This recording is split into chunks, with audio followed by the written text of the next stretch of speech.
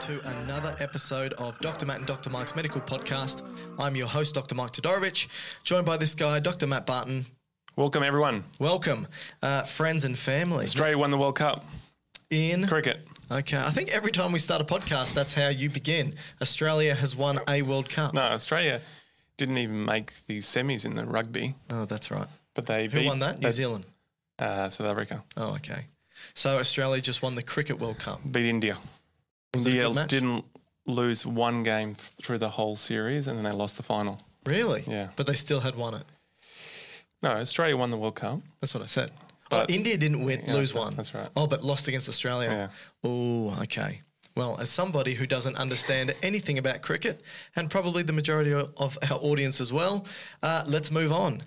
Um, I, I had, in other news, I- Yeah. I, had a bout of gastro. oh, would you like to tell us that in detail? Do you really want me to, or is that just sarcasm? And Can I tell the audience about your physiological I think they know it. abnormality? So, Matt, when Matt vomits, is it just vomiting? Just vomiting. So when Matt vomits, he tends to pass out. So Matt has what's called a va- vago vasal uh, vasovagal syncope, which is uh, upon a very strong activation of his vagus nerve, which tends to happen due to the Valsalva maneuver, forceful contraction, stimulation, uh, something like uh, doing a hard poo. I don't get that. Well, I generally don't have that issue Well, you eat a lot of from, vegetables. from the other end. Um, or vomiting, it stimulates the vagus nerve, which changes the diameter of the blood vessels, and the blood doesn't make it to his brain fast enough. And because he's 18 foot tall, it happens very quickly, and he passes out. Didn't your wife find you on the lawn, unconscious on the lawn, naked, just covered in your own vomit? More or less, more or less. Wow. So, um, Why were you on the lawn? a bit of a backstory. Yeah. Um, my Not my the diarrhea. My da- no, Oh. my daughter had gastro the week before, Yeah. And I managed that through the whole night. So it was. So you were the one doing the cleaning. that's right. On the hour, every hour, there was vomiting, Yeah. clothes changing, bed sheet changing. Anyway, um, so I thought I, I made it through without succumbing to this So a whole uh, week. virus. Whole week went past. Close to it. Wow. Yep. And then Sunday, which actually was my birthday. Oh, it was. I remember sending you a message saying happy birthday, and you said, I've got gastro. And I went, oh no, because I know that that means time to get unconscious. So And usually for people, that would mean getting drunk Yeah. and going silly. But for you, it means uh, getting gastro and passing out on the right. lawn in your own vomit. So I- I woke up not feeling the best. Went to a um, a birthday party in the park Did you? with family, and then I just started feeling off. For you? For Me, So it's to celebrate you. correct. Went home. Started to go. Oh, I think I've progressed past. You know how sometimes you just feel a bit nauseous. Yeah. And then you go. Ah. No, this is illness. is it. Yeah. So then I sat outside for a little while. Thought maybe uh, I will feel Are you back better. home or at the park? I'm back at home now. All right. And then it got to the point I'm, I'm like, this is going to be vomiting. Right. But I really don't want to initiate it by just sticking my fingers down my throat. Yeah. And so I thought, oh, to be safe, I'll go and stand on, not stand, squat on the lawn, Right. Squat. hands, hands and knees. Okay.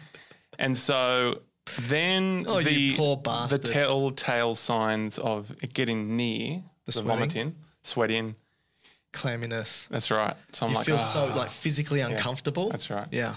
And then all I remember is then my wife yelling at me, going, I don't know what she was saying actually. Um, I'm here, I'm here. Do the like- dishes. I'm, I'm here, I'm here. Something like that. Wow.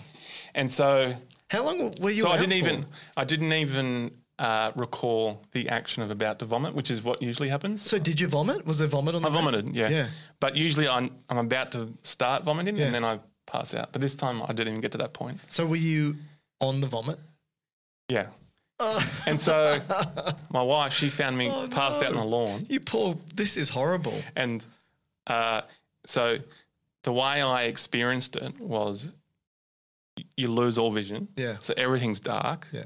but you can hear. Mm. So your your sense of hearing is must be retained reasonably well. Yeah. Presumably, vision's a highly energ- energetic process, Yeah. so you'll lose that quickly. But then I could hear my wife But then you have this feeling. I had this feeling of significant dread, Right. like like I'm You had been trapped. taken into the void. I'm trapped, Yeah. almost like underwater, and you're trying to get to the surface. yeah. K-hole. Yeah. Like a ketamine trip. So that's what was my feeling. Wow. But but then you could almost get back a little bit of consciousness each wave that I suspect was the blood coming back. Yeah. So it's kind of these pulses that's getting more, more, more. Then vision comes, but you're still disorientated. And then more and more, and then I go, oh, okay, I've passed out. But still, it, it seems, seems strange. Different world. But then I fully. So did you have to vomit again after that? One more. And you passed out? Yeah. Wow. And so Then- how long does it take for you to recover from the passing out? It seems like a long time for me. Yeah. But the bean, my wife said about 20 seconds. Oh, okay. And then in that, my daughter, Boy. two, two and a half year old daughter, she saw it and then she Got got, upset. really upset and she ran inside crying because she thought her dad had Was- carked it. Wow. Okay. Well, that's So the whole experience wasn't great. you. Uh, I would be so worried about getting gastro. I do. Yeah. And that's, I think, what makes it all worse because Yeah. you know What to expect? the outcome. Ugh, horrible. Well, we're not talking about gastro today, Matt. So that's good. So no sympathetic passing out for us, please. And when I say sympathetic, I don't mean sympathetic nervous system. Uh, we are talking about inflammation, and we're talking about some of the drugs or pharmaceuticals that can be used to address the inflammatory response. So we call them anti-inflammatory drugs. And there's a, Good name. probably a significant overlap between anti-inflammatory drugs and its use in for other reasons like antipyretic, so stopping fever, analgesic, stopping pain, and other mechanisms. So Autoimmune or anti immune, anti-immune as well. immunosuppressant. So when we think about inflammation, there's a couple of things I want to talk about to begin with, and then we can probably talk about the process of inflammation, the chemicals that are released, and then we can talk about the various drugs that are currently on the market that address inflammation. What do you think? Like it. All right. So, to begin, if we were to define inflammation in to, to be as succinct as we possibly can, I tend to tell my students that inflammation is damage to vascularized tissue. What do you think about that? Yep. Okay. And the reason why I say that and, and make sure I put that little addendum in as to saying vascularized tissue instead of just damage to tissue is because inflammation is a vascular response. Yes. And so the importance of that is, But saying that most tissue is vascularized, right? yeah, it is. Uh, There's not many that isn't. But the reason why that needs to be stated, or importantly should be stated, is because there's some tissues that aren't as vascular as others, like cartilage. And so when you have damage to, to cartilage, there is an inflammatory response, but it can take a long time and it can take a long time for that tissue to heal. Because as we're about to find out, inflammation is important for tissue healing. Does that make sense? Yes, yes. All right. Very important. So, Actually, I think the early physicians thought that was its whole role. It's just a healing process. Yeah. And in part it is, but it does a bunch of other stuff. So uh, inflammation is great in the short term. Uh, it facilitates fighting off infection. So, you know, clearing of pathogens, cleaning that area or clearing the area away of debris, uh, and rebuilding and facilitating the process of wound healing. So, inflammation can And, and notifying you there's a problem. Yes, to, to basically say, look, I'm healing this tissue. Maybe don't use it as extensively as you would. So protect it. which is the fifth cardinal sign of inflammation. So, okay, let's, we won't go to the cardinals yet, but we will talk about those cardinal signs of inflammation. Um, so tell me if you like this analogy, right?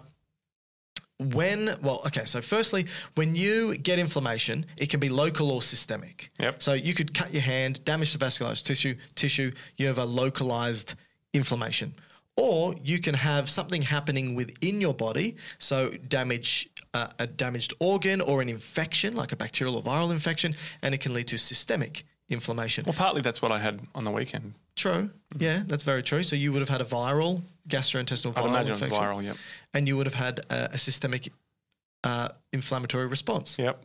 So, regardless of whether it's local or, or systemic, the effects it has on the body is to basically conserve energy and to allocate nutrients to the activated immune system. So, you you are going, your body is experiencing something that it normally wouldn't, and you can feel a little bit sick. You can get what's called sickness behaviors. Uh, these include things like sadness, um, uh, uh, anhedonia, which is an inability to experience pleasure, or you have this lack of So this interest. is you're, you're saying behavioural changes, Yeah, or so- systemic changes. Uh, so these are some behavioral and sys- and these are some behavioral and physiological things that occur to you when you can get inflammation, whether local or systemic. So that sadness, that anhedonia, fatigue, reduced libido and reduced food intake, altered sleep and altered socio uh, behavioral uh, responses. But you can also get things like increased blood pressure, insulin resistance, dyslipidemia, Myalgia myalgia. So that's muscle-based pain. and So joint pain. yeah, so pain generally. And the thing about this is it's all supposed while they can be uncomfortable and And you probably also say fever. and fever, um, it's short term, right? It's supposed to be short term. And so the reason why is I like to think about it as though, um, let's say a building has fallen down in a city, right? So the city functions the way that a city functions. It's high paced, many things are happening, but it's basically quite efficient. But when a building falls down, it's going to disrupt the functioning of that city. So the city is the analogy of the body.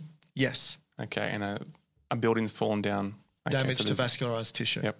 So when it falls down, it needs to be fixed. Otherwise, it's going to, if it remains broken, it's going to limit the way that the roads work, limit the way the city functions. You're not going to be able to import, export things properly. People's lives will be disrupted. So it needs to be fixed. But while that building building is getting fixed, you need to cordon off roads. You need to get in a, a cleaning team. You need to get in a, re, a builders and rebuild that building again. And while these things are happening, the city is diverting resources to that process. So the city might, for a short period of time while it's getting fixed, be dysfunctional. Have ill effects.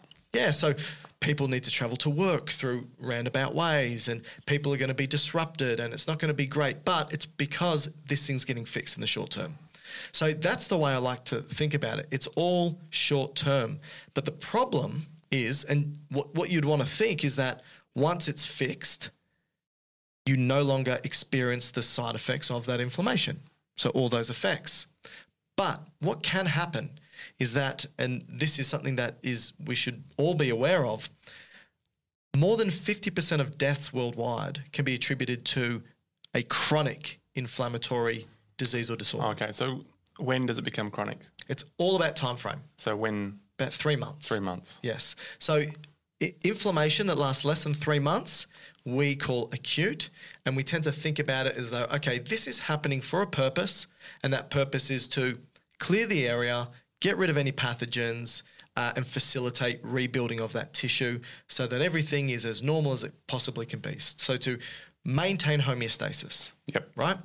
But if it goes for too long, then the process becomes maladaptive and it can just maintain and it beca- basically self uh, modulates and can amplify and can continue and it doesn't get fixed, right? So th- this is a problem. Yeah. So if you so acute inflammation is like And hanging out acute just- with you, right? It Good- hanging out with good you. looking. No, no, no, no, not not acute, uh, acute. Oh, sorry. So hanging out with you, great in the short term, right? Enjoyable. Hanging out with you long term, one of the worst things on the planet, Fibrotic. potentially. Yeah. So this is like infl- you are like inflammation. Great in the short term, horrible in the long term. And these deaths Compliment accepted. I'm glad that's how you saw it. So these deaths that can be attributed to chronic inflammatory disease, things like stroke and cancer and diabetes and heart disease, fatty liver disease, kidney disease, autoimmune diseases, neurodegenerative diseases, all of them have been shown to have an inflammatory basis to it. Yep. But tends to be chronic inflammation. Yeah. So, whole point of saying all of this is because it's important for us to understand the process of inflammation and how it should be and how it should function appropriately and the types of drugs that clinicians will commonly prescribe to help address inflammation to hopefully try and stop it from getting any worse. Okay. And these are what we call anti-inflammatory drugs, which again is the focus of today. Right. And so in in terms of these anti-inflammatory drugs, are they generally going to be applied for acute inflammation opposed to chronic, or they can have applications in chronic? Both. Okay. But generally, it would be to reduce the effects that acute inflammation can have, such as if you go for a run and you get a, an ankle sprain, uh, it might be extremely painful. And the pain is obviously there to say, hey, stay off the ankle Yeah. while we fix this. Yeah. But the pain could be quite annoying. Yes. And the pain would generally be caused, well, it could be caused due to uh, direct stimulation of the nociceptors that stimulate the pain, or it could be caused due to the pro inflammatory chemicals that are released that is changing how easy it is to send the nociceptive. Well, that was signal. going to be a question that I had with your city analogy. Yeah. How are all these different systems communicating with, with each other? So how does Chemically. the dist- how does the uh, you know not the destructive what do you call the Demolition team? demolition team? Yeah. How do they know? How do the builders know to come in to now build some new build the building again? They all need to make phone calls, Yeah. right? And so these phone calls are the chemical messengers. Right. And so inflammation is mediated by chemical messengers. And the whole inflammatory process, again, if we think about it, getting rid of anything that shouldn't be there, clearing the area of debris, and facilitating rebuilding, that happens because of the chemicals that are released. But some of the off target effects can include stimulating or making it a lot easier to experience pain. And so, one of the reasons why people take anti inflammatory medications isn't really necessarily to stop the inflammation, but to stop the pain that is caused by the inflammation. But the way that we can do that is by stopping some of those chemicals that promote inflammation. Right. Does that make sense? Yep. Now, again, uh, inflammation can be good in the short term. And again, it's context dependent. So, uh, but inflammation can be quite bad in the long term. Yeah. So it really is a balance between how much of this inflammatory response do you want to stop or not. Now, sometimes acute inflammation can kill you, Yes. right? So again, that's why I'm saying it's context dependent. And, I, and a good example of that is Mm. what we saw in the short term effects of COVID. Yes. So yes. we, we, for those individuals that progressed into a serious, um, what, what do they call it? A cytokine storm, yeah, they pretty much had their entire lung fields inflamed, yeah, which then meant the lungs, if they're filled with fluid, they're not going to do their job. yeah, And so that could then lead to death for the individual because they just can't gas exchange anymore. yeah. The body is trying.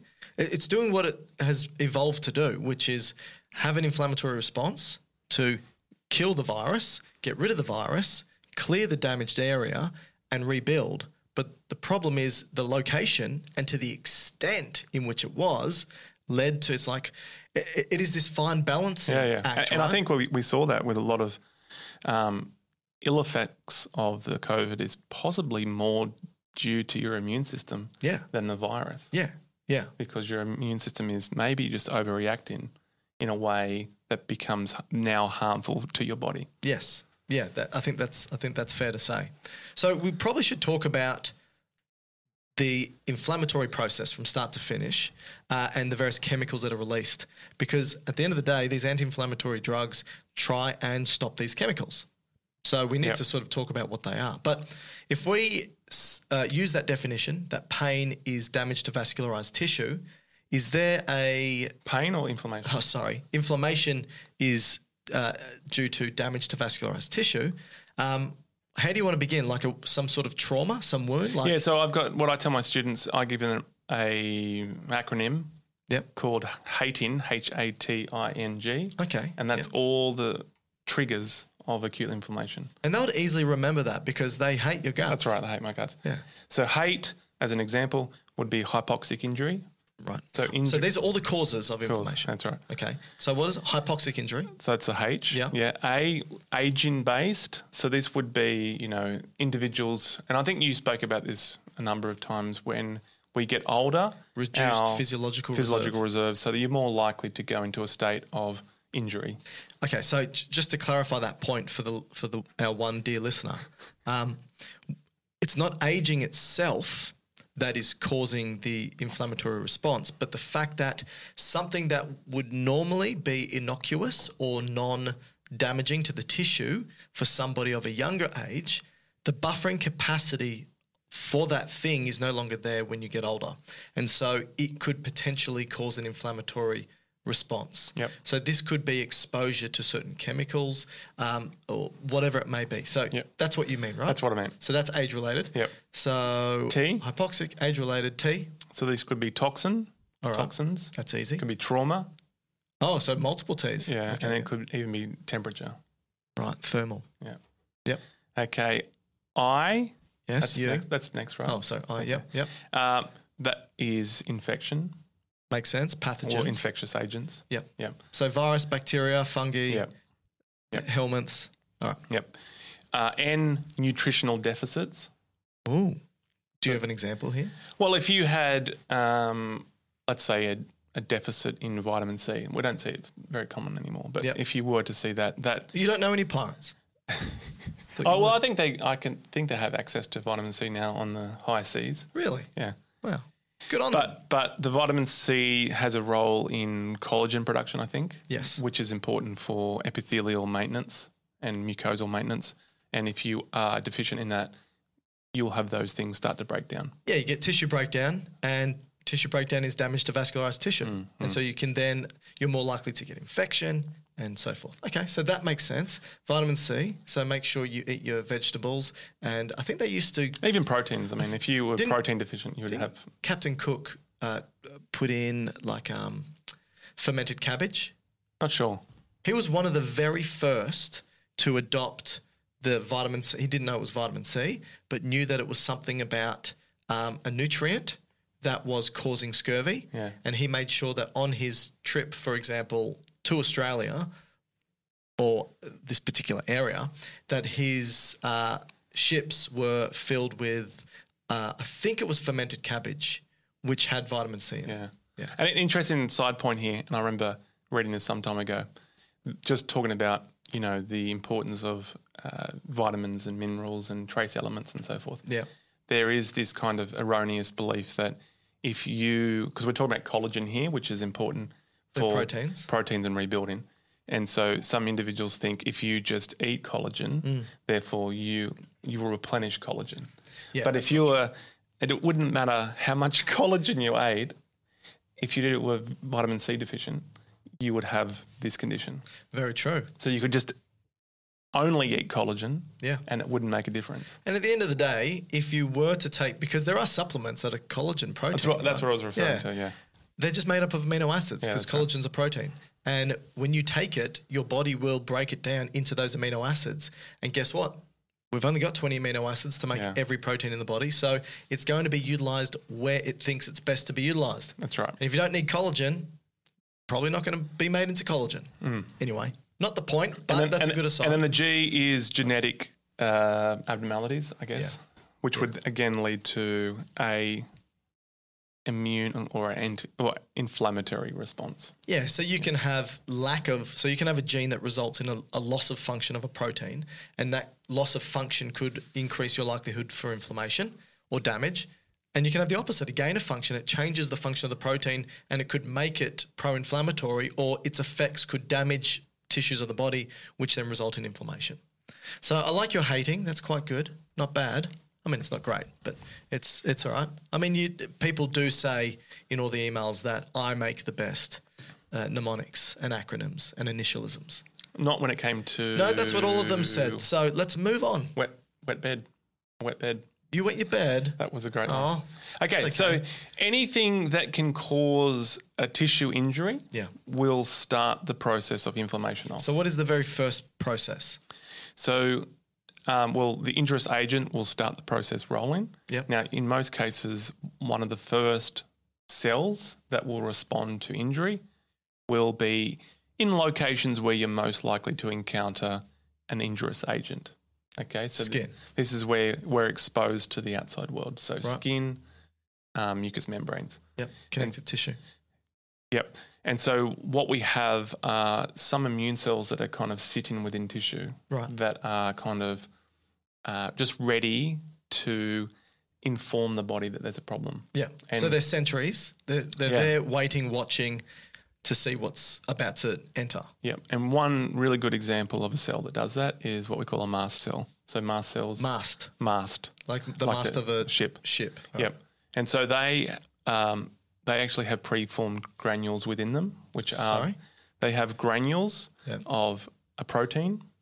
You know, there's a number of different chemicals that they have. But the really well um, example, a good example for this granule is histamine. Okay. Okay, histamine is preformed, so it's already within the intracellular space of this cell, and any one of those, Oh, so it's Um, not in the cell. It's in the cell. Oh, you said intracellular. Sorry, I Intracellular. thought you said inter. So okay. Yeah. Yep, yep, yep. So they're sitting there already preformed, and any one of those injurious agents that we went through with the hating has the potential to tell the mast cells to degranulate. So is, it because it's directly damaging the mast cell, or is it because something's telling the mast cell to release the histamine? yeah, I think um, both. Yes, but okay. So I think in many cases, a a mast cell can be primed to be an a, have an allergic reaction. Right. So we could, you know, a very common form of acute inflammation from mast cells are allergy based, Yes. and so you've already, um, what's the word, sensitized them to that allergen. So you didn't say allergen in your hating. Oh, you could add that in the A. Oh, okay. We'll just post hoc add it to the A. What was the A originally? Uh, aging. Aging. So you can have aging and allergen. Yeah. So because that was going to be my next point is that let's just say you have an injurious agent to tissue and it could be a cut or whatever, but you don't necessarily need to have an injurious agent to stimulate mast cells. You can That's have correct. something that, uh, like you said, could Well, it's be pollen. innocuous, isn't it? It's an, yeah, so it could be just the pollen from a tree that you inhale and it doesn't damage the tissue right. directly, but what it can do is it can stimulate the mast cells to release histamine. Yep. So are you saying that histamine is one of the many pro-inflammatory chemicals that are released, Correct. released from mast Yep. cells, and they can be released due to either Any, damage any one of those things I just mentioned. or, or allergens? yeah, that's right. Mostly allergens though, right? It's very common in that response. But in theory, if you were to mechanically annoy a mast cell, Yeah. it will also release its contents. Including histamine. Yep. Well, that's, that's exactly what I was meaning. Yeah. Okay. But you could have other chemicals that will come in and, uh, you know, are relatively innocuous that will cause a mast cell to degranulate without having to be um, primed to it. So, like morphine's a good, good example. All right. Morphine, for some people, will annoy mast cells Yeah. and they will get like allergy responses to morphine. Itchiness. Itchiness is a good example. All right, so we've got so this is just one chemical, but there's heaps of chemicals Yeah. that are released during this process of damage to vascularized tissue. I think the, the important point I'm just emphasizing here, because the, the chemical is already pre-made, Yeah. it can be released very quickly and have a very immediate effect. And histamine has a very strong effect on vascular tissue, so it will cause it to dilate. And so, pretty quickly in this inflammatory response, is blood vessels start dilating. Why? Why would you want a blood vessel to dilate? In inflammation, well, you want to bring blood to the area because what's in blood, it's going to have nutrients and Yep. all the important stuff to remake cell. That's in your case the city, the, the building that's broken or Yep. fallen down. You want to bring all the important things to it, but also it's going to kind of notify we need to bring in the fixer elements to that region. So white blood cells. white blood cells. So these are fighting off the infection, but also helping clear the area. That's right. And also platelets, which can help if the blood vessel a- itself is damaged. That's right. It can help repair that damaged blood Yeah. vessel as well. So, all right. So you're saying that the very f- pretty much once the once and we're only using one chemical at the moment, but we'll go through the others. But once this first chemical is released, you get vasodilation. Should we talk about the other chemicals and then? Yeah. Okay. So But the really the stressor I'm putting here is the preformed granules like Yeah. histamine, serotonin. first one to be released. play the immediate response Yeah. to this, and then what comes in now are mediators that have to be made. Okay. Okay. So there is this inflammatory soup that gets produced during this process.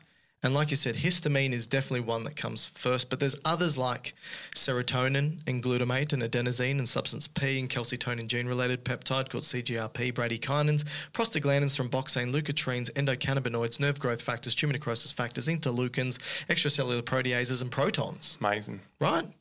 Just that's just me- mentioning some. So all of these are termed pro-inflammatory chemicals, and can not just stimulate the inflammatory or exacerbate the inflammatory process, but they can also stimulate and exacerbate the nociceptive process for us to uh, experience pain. Yeah. All right. So, knowing that there's a bunch of chemicals, uh, let's talk about a subset of them Yeah. and the main effects that they produce so that we can talk about the cardinal signs of inflammation that we all know and hate. so, what would you say are the major chemicals that are involved in the inflammatory process? I, I listed a bunch that have been implicated, but what would you say are some of the important ones? So yeah, these are now the, the ones that have to be made. So prostaglandins is a huge one. Yeah. Okay, so then you'd have the leukotrienes Yep. um, and then the cytokines. Yep. Okay. That would be my Yep. ones to focus on. What about on. bradykinin? Bradykinin, yep. So bra- bradykinin comes from other locations though, right? Doesn't it come from the liver? Well, originally it's formed in the liver, but it's circulating through the plasma Okay. and and in the tissues as well. And so I would say, generally speaking, if I were to summarize some of the important pro-inflammatory chemicals for us to talk about the inflammatory response and the cardinal signs, I would say histamine, bradykinins, and prostaglandins. Um, and probably a bit of nitric oxide, but it's not really a pro-inflammatory chemical, but it can um, sort of uh, synergistically amplify the inflammatory response. But let's just talk about some of the main mechanisms broadly, what these chemicals do, right? So you mentioned the first one is that you said histamine vasodilates. So does bradykinin. So does prostaglandins. So at the site of injury, blood vessels are dilating Yeah. getting more blood to the area. Yep. The second thing they do is they make that blood vessel, because it's usually a, compi- a capillary bed, more permeable, right? So it just makes it more porous, More easier for things to leak out. Because when there's not an inflammatory state, what things come out of the blood vessel and what don't? Purely plasma only. Which constitutes what? What's in plasma? Well, it's about 55% of your blood um, volume. Yep. Uh, it's mostly just water with small dissolved uh, electrolytes in it. So sodium, potassium, calcium, chloride, but there's also nutrients like glucose, uh, and Yeah. there's also gases. Yes, that's right. So, generally speaking, they're pretty much the only things in a non inflammatory state that leaves a capillary bed because they need to feed the tissues. That's right. Uh, and then there's things that come into the capillary bed like wastes and gases and From, from the cell well, itself. From the cell Cells, itself. yeah, yeah. And they're usually the things that get exchanged. But when you release these pro inflammatory chemicals, one, more blood is getting to that tissue. Yep, so that's Two, vasodilation. Two, the things that don't usually escape, like proteins and cells, Yeah. red blood cells, white blood cells, and proteins, they can now escape. But I will say this that in terms of, I mean, red blood cells shouldn't escape unless there's been damage to the blood vessel. Mm-hmm. Platelets shouldn't escape unless there's been damage to the blood vessel. White blood cells shouldn't escape. However, they have the possibility, only a couple of them, Mm-hmm. of squeezing them their way through the, the cell itself, opposed to just um, floating through the blood vessel like, say, the plasma proteins would.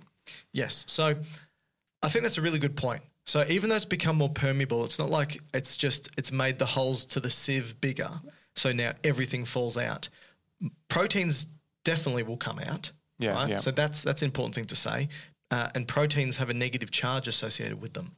And we know that from previous podcasts, anything that has a charge or a significant charge associated with it will drag water with it. So the fact that proteins leave mean means water leaves as well, right? Or the plasma leaves. Um, the like you said, the red blood cells and the platelets they don't leave, and some white blood cells do. And the reason is because they undergo this process of chemotaxis, where mm-hmm. because of all these things are leaking out of the blood vessel, and you've got all of these chemicals now creating this soup outside of the blood vessel because it's saying, hey, this is an inflammatory, this area is damaged. The white blood cells sniff it out and they squeeze themselves through these Yeah. slightly larger doorways. So if if it, if those chem- process called di. diapedesis, yeah, right. and so they squeeze their way through because they're following that chemical gradient.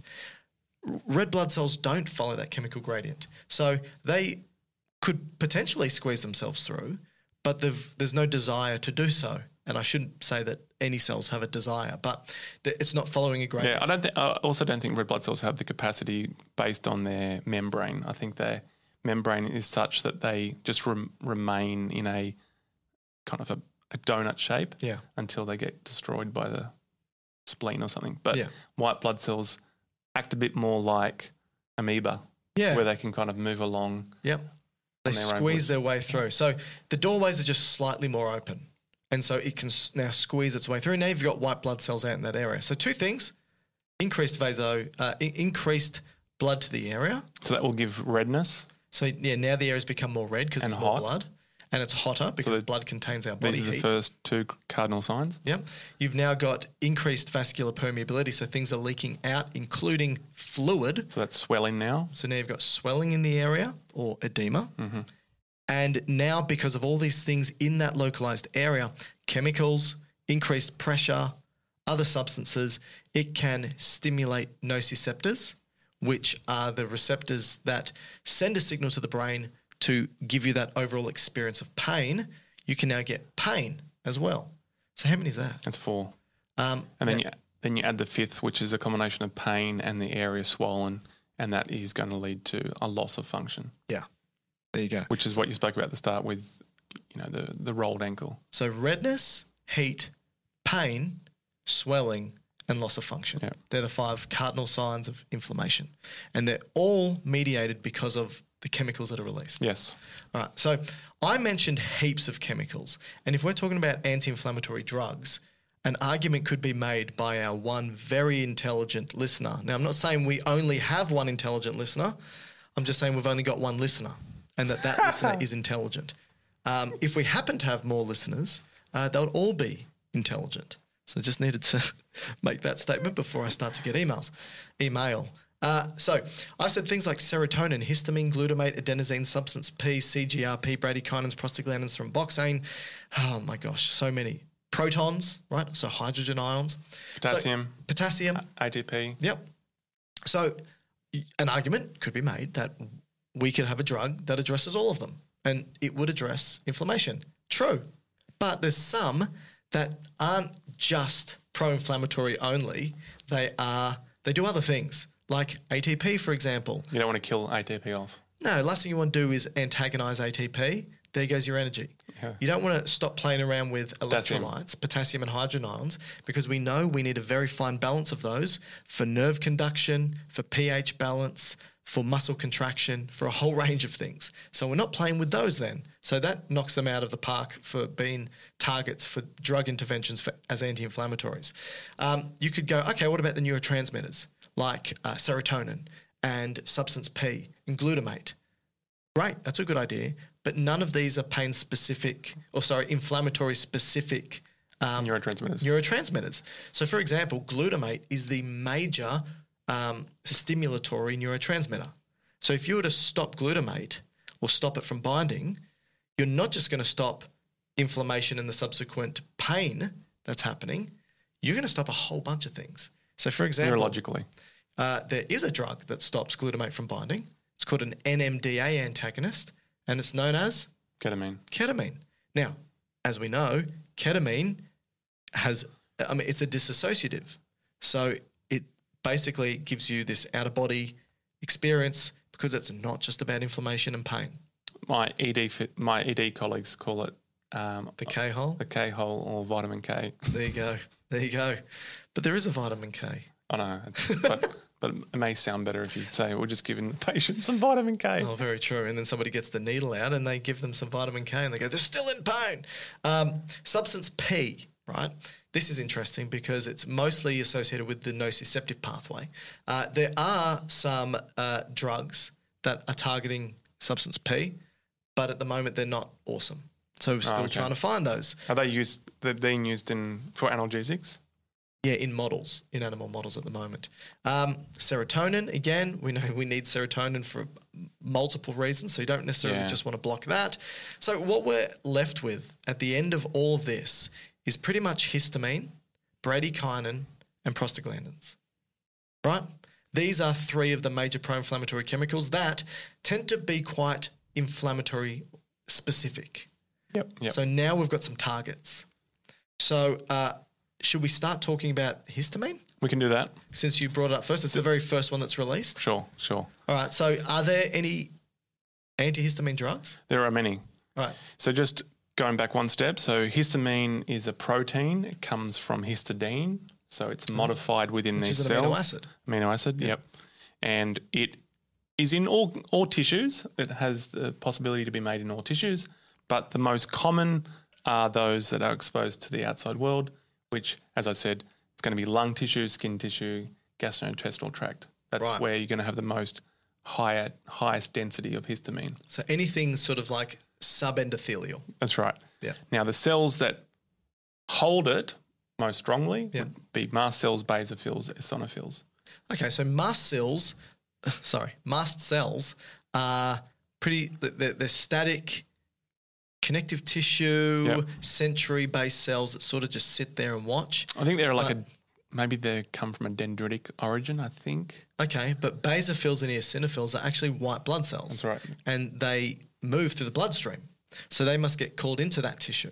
Yeah, and they're going to play an important role with uh, allergy-based uh, oh, that's what I mentioned earlier. acute allergies. inflammation. Right. Yep. Um, Also, um, there are cells, parietal cells in the stomach yeah, that hold histamine, that's right. and yeah. there's also histamine as a neurotransmitter in the brain. yeah, very true. Okay. Yeah, yeah, yeah. So histamine, there's a whole different subtype of them. Uh, I think there's four different types: Types of what? uh, histamine and histamine receptors. oh, Or should I say histamine receptors? Yeah. Okay. However, probably the most important ones will have uh, H2. So that's the receptor where we're, we're talking about um, a antihistamine effect. Okay. Okay. So you're saying that histamine, just like many chemicals in the body, don't just do one thing, does a bunch of things. And it really depends on the receptor and the tissue that it binds That's to. That's right. So uh, you said there's H1 and H2 receptors. H- right? There's H1, H2, H3, H4. Oh, okay. But So- clinical uses Yep. would be H1 and H2, Right. not so much 3 and 4. Okay.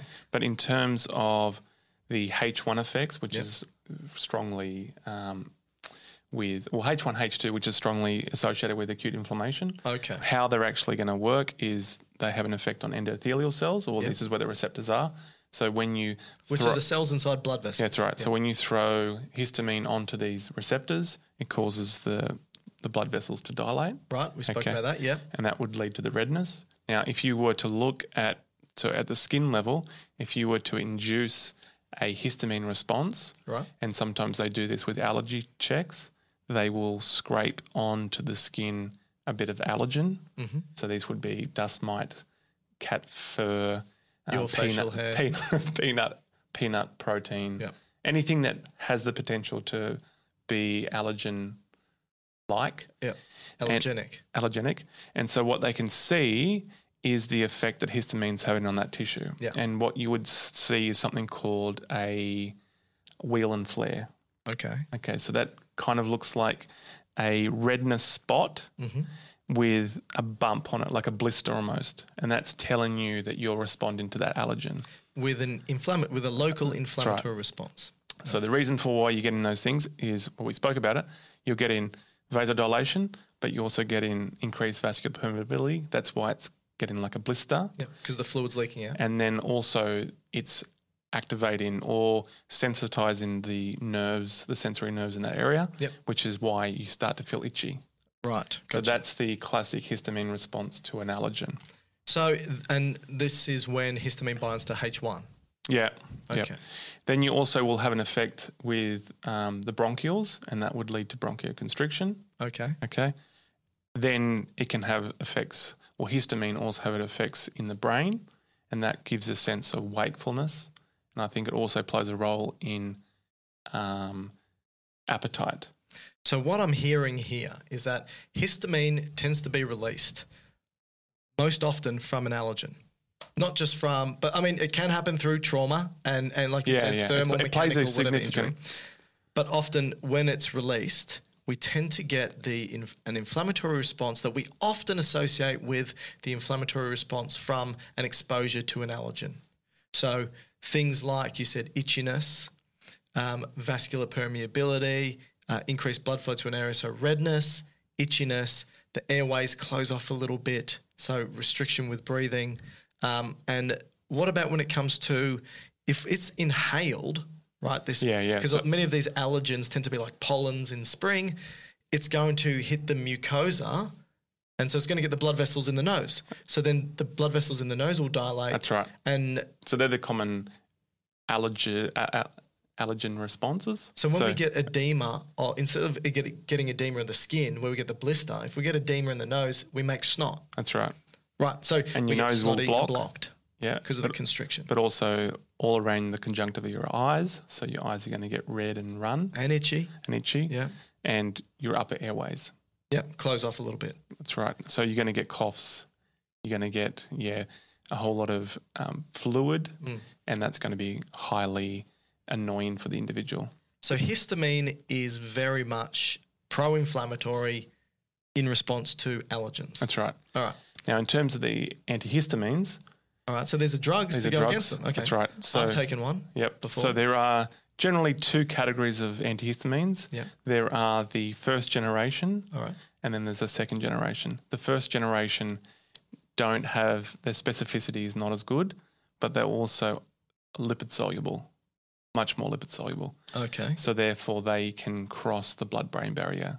Oh, okay. And as I said earlier, histamine is also a neurotransmitter. Oh, and it's an excitatory one too. So it w- could lead to drowsiness. That's right. So drowsiness and changes in appetite. Right. So these can be the side effects. But interestingly, because there's a lot of crossover, they're also going to have an effect on, they almost have an anticholinergic effects. Oh, so what do we need acetylcholine for? Acetylcholine has, plays an important role in the parasympathetic nervous system. Oh, so rest and digest. Yeah. So they're going to cause, well, they actually have an effect on anti nausea. So sometimes a drug, an off target effect could be, it could be used for motion sickness Yeah. and anti nausea. Okay. But a side effect of that would be you maybe also get drowsy. Yeah. And Yeah. so one of the most common uh, antihistamines that are used for this, particularly in children, is Phenergan. Yes. Okay. Because yes. that's got a sedative property, but it's also got maybe useful um, travel sickness. Yeah. Oh, absolutely. Yeah. So you're saying that uh, the histamine, so the non-specific earlier generation of histamines, uh, lipid soluble, didn't just have the anti-inflammatory effects, but had these various off-target, probably neurological-based effects. Yeah, and in, you may know this. I couldn't really find the mechanism, but they can be also used in Parkinsonian effects, like the uh, maybe not the tremor, but the the stiff muscles and so forth. Have you come across that in your because you did your PhD in Parkinson's? Yeah, I'm just trying to think uh, about the cholinergic effects that you stated. So you said it's anticholinergic. Yeah. Uh, interesting. It So- seems to work in synergy with levodopa, but Yeah. I didn't look it extensively. So if, it could be because of its anticholinergic effects. So the anticholinergic, because we know we need acetylcholine when it comes to muscle contraction, uh, and collagen, uh, and acetylcholine uh, is an excitatory neurotransmitter in many parts of the body. So I wouldn't be surprised if that's its effect, because at the end of the day, when you look at disorders and diseases like um, certain neurodegenerative ones like Alzheimer's, it's an imbalance uh, where the acetylcholine is off. And the same thing can happen with Parkinson's disease. Yeah. It's not just the dopamine that's out, it's the acetylcholine that's out as well. Right.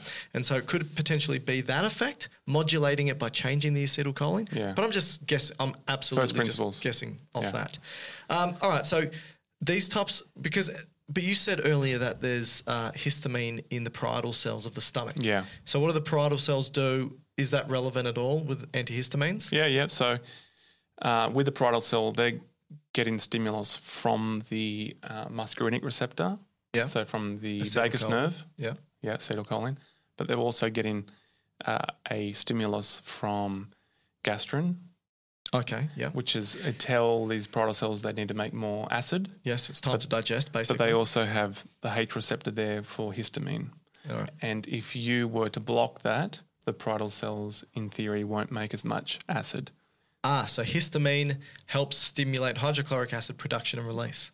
So if you had patients with maybe gastric ulcer disease or GORD, too much acid um, reflux, you could give this particular type of um, antihistamine, and it would reduce the profile of production of acid in the stomach. So effectively, it's a proton pump inhibitor, Yes, but effect by by outcome, yeah, but, but not by directly inhibiting the proton pump. correct. But you brought that up. So the PPIs, the proton pump inhibitors, are much more effective um, at just that one effect. Yeah. Whereas if you give a antihistamine for the antacid effect, Mm. it is going to cause other systemic problems. So the person may not want to take it for that reason. Yeah. And I think it's important to state that it's through another receptor, not the same receptor that's used as the antihistamine taken for uh, allergic responses.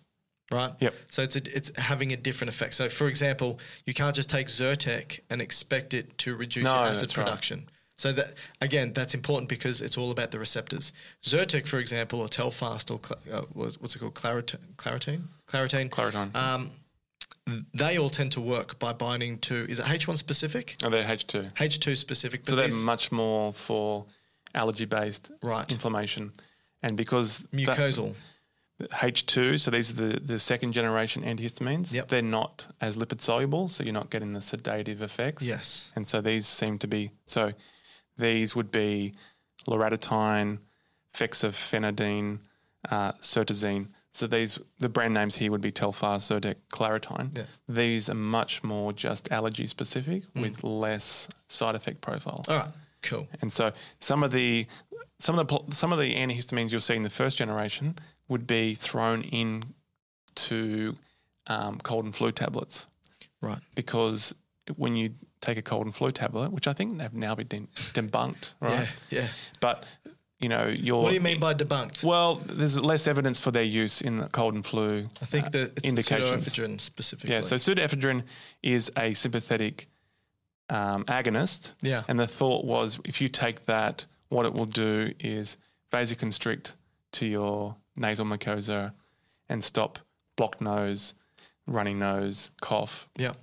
but also probably because it's a sympathetic mimemic, it's going to give you a bit more energy. Yeah. Um, but the side effect of that, if you were to take that at night, you wouldn't sleep. Yeah. So then, then counter it with the nighttime cold and flu Yeah. with the first generation antihistamine, That's right. and that gives you a, sed- a sedative profile. Yeah. So they've basically, I think they've said that the pseudoephedrine is not really acting as a sympathomimetic. Is that what they state? I don't know. I, that surprised me to be honest. Yeah. Because I, I I thought it would have an effect. Yeah, I need I need to jump back into it and have a look because I'm not sure what they were stating. But regardless, um, all right. So histamine we've done. Done. Okay, bradykinin. Ooh, bradykinin. Do you mean the, what it is or the drugs that? No, let's talk about what bradykinin Okay. is. Um, but before we do that, let's stop for a quick ad break. And we are back. I always get surprised at how quick those ad breaks are. Um, thank you for not fast forwarding the ad break. And if you did fast forward the ad break, that's fine. I do the same thing when I listen to podcasts as well. So let's talk about uh, bradykinins. So bradykinins, like histamine, are pro-inflammatory. Unsurprisingly, they vasodilate, they increase vascular permeability, they promote pain, or at least they uh, change the threshold of nociceptors to make it easier to experience pain. So they tick off all the boxes for all of the uh, cardinal signs of inflammation. Now, it's unlike histamine, where bradykinins are sitting preformed unlike histamine, where they're sitting preformed in cells like mast cells, for example, bradykinins are, if you take them back to the beginning, they're produced by the liver.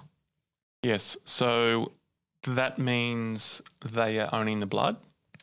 Uh, no, not necessarily. I mean, they're first released into the blood Yeah. and become. So, they're so, they're always in the blood. Well, let's first begin in the liver. The liver produces these things called kininogens or kininogens.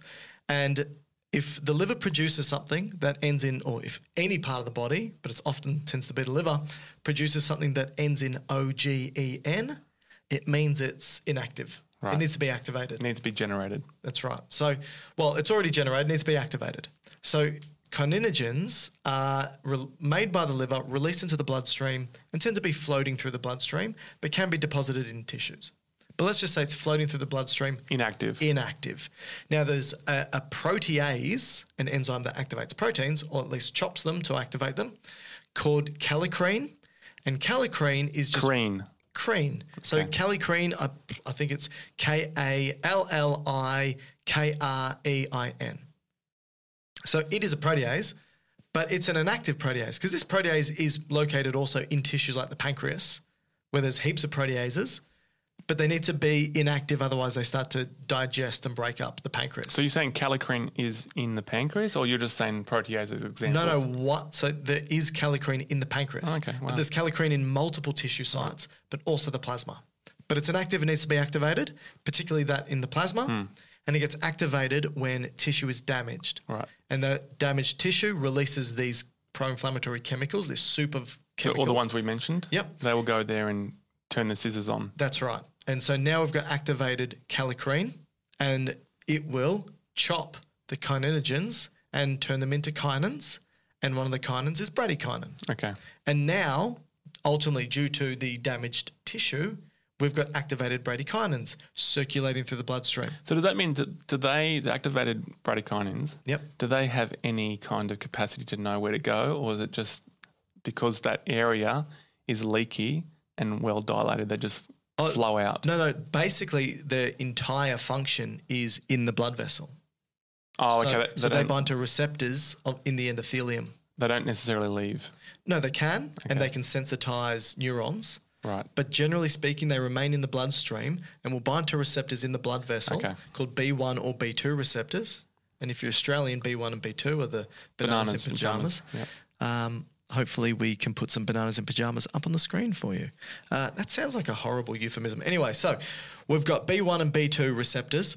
And once the bradykinins bind to these receptors, it results in vasodilation, increased vascular permeability, and it can alter the pain perception, And they do have similar to histamine. Yeah, and they have a synergistic effect with the histamine. So both of them together do that real dilation Yeah. and leakiness. Yeah.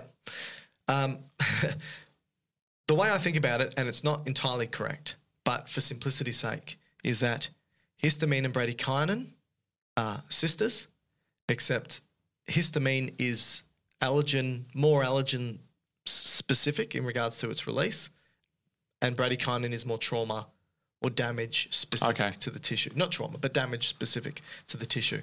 But both of them, vasodilation, increased vascular permeability. And one thing I did forget to mention with histamine, if you get a profound systemic release of histamine, then you're going to go into a more anaphylactic state, which mm. is the whole, instead of just your nasal tissue and eye tissue having this inflammatory allergy Yeah.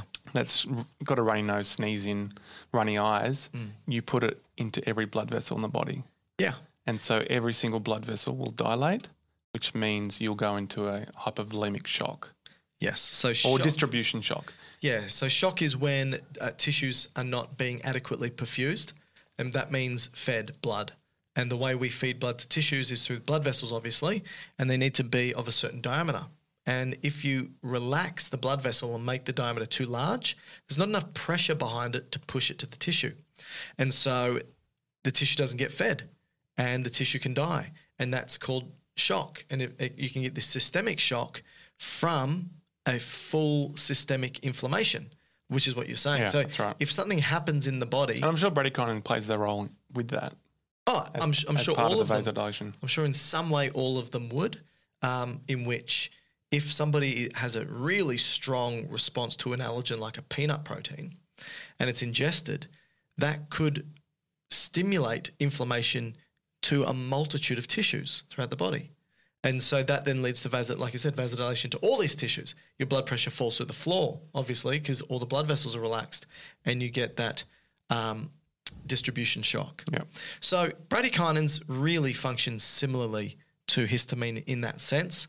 Um, now the thing is, if we were talking about drugs that stop bradykinin, so we spoke about antihistamines. Do we have anti-bradykinins or bradykinin antagonists or bradykinin receptor antagonists? Yes, there is one, and they're trying to find others. And so uh, this uh, particular drug is called now I'm probably going to mispronounce it, icatibant. I think that's right. Or I think the product name is uh, Firazyr, Okay. and it's used specifically for hereditary angioedema. So angioedema is when blood vessels dilate and fluid leaves. Tends to often be gastrointestinal, Oh, okay. like localization wise. So you basically get this fluid leaking out of the blood vessel due to the vasodilatory effects of bradykinin, which makes sense. So it is So would this be for people with inflammatory bowel disease? no people just with hereditary angioedema Oh, okay. at the moment, um, and so but it tends to. It's also been trialed at least bradykinin antagonists or brady or bradykinin receptor antagonists um, for like chronic inflammatory conditions like uh, osteoarthritis and rheumatoid arthritis. These are chronic inflammatory conditions.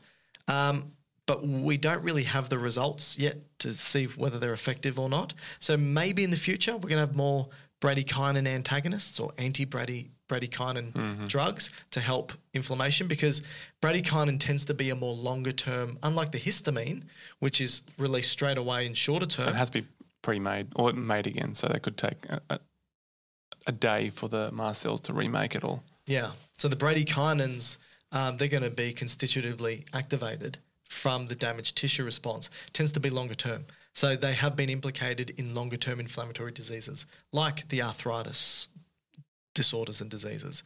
Um, so uh, we, we have to just wait and see whether there's going to be any bradykinin based drugs getting released. Okay. Something that's important, I think worth bringing up, is that um, ACE, angiotensin converting enzyme, which is part of the renin angiotensin aldosterone system, which I'm sure our dear listener is aware, is a mechanism that our kidneys start off With renin, with renin to increase our blood pressure and blood volume. yep. So, very quickly, if our blood volume or blood pressure is low, the kidneys release a protein called renin, the liver releases something called angiotensinogen.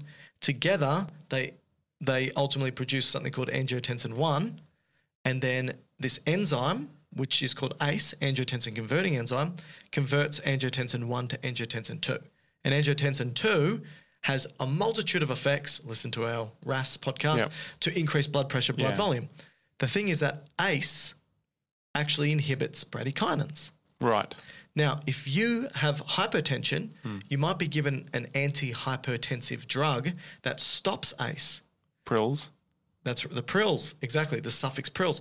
And if you stop ACE, you're going to increase the amount of bradykinins. Right. And this can lead to a bradykinin induced cough due to So it's bradykinin is the the mechanism that's thought leads to the chronic cough, that's the thought Yeah. because of increased bradykinins. and that's just irritating the sensory receptors in the airways. exactly. Right. Yeah. So I think that's an interesting aside.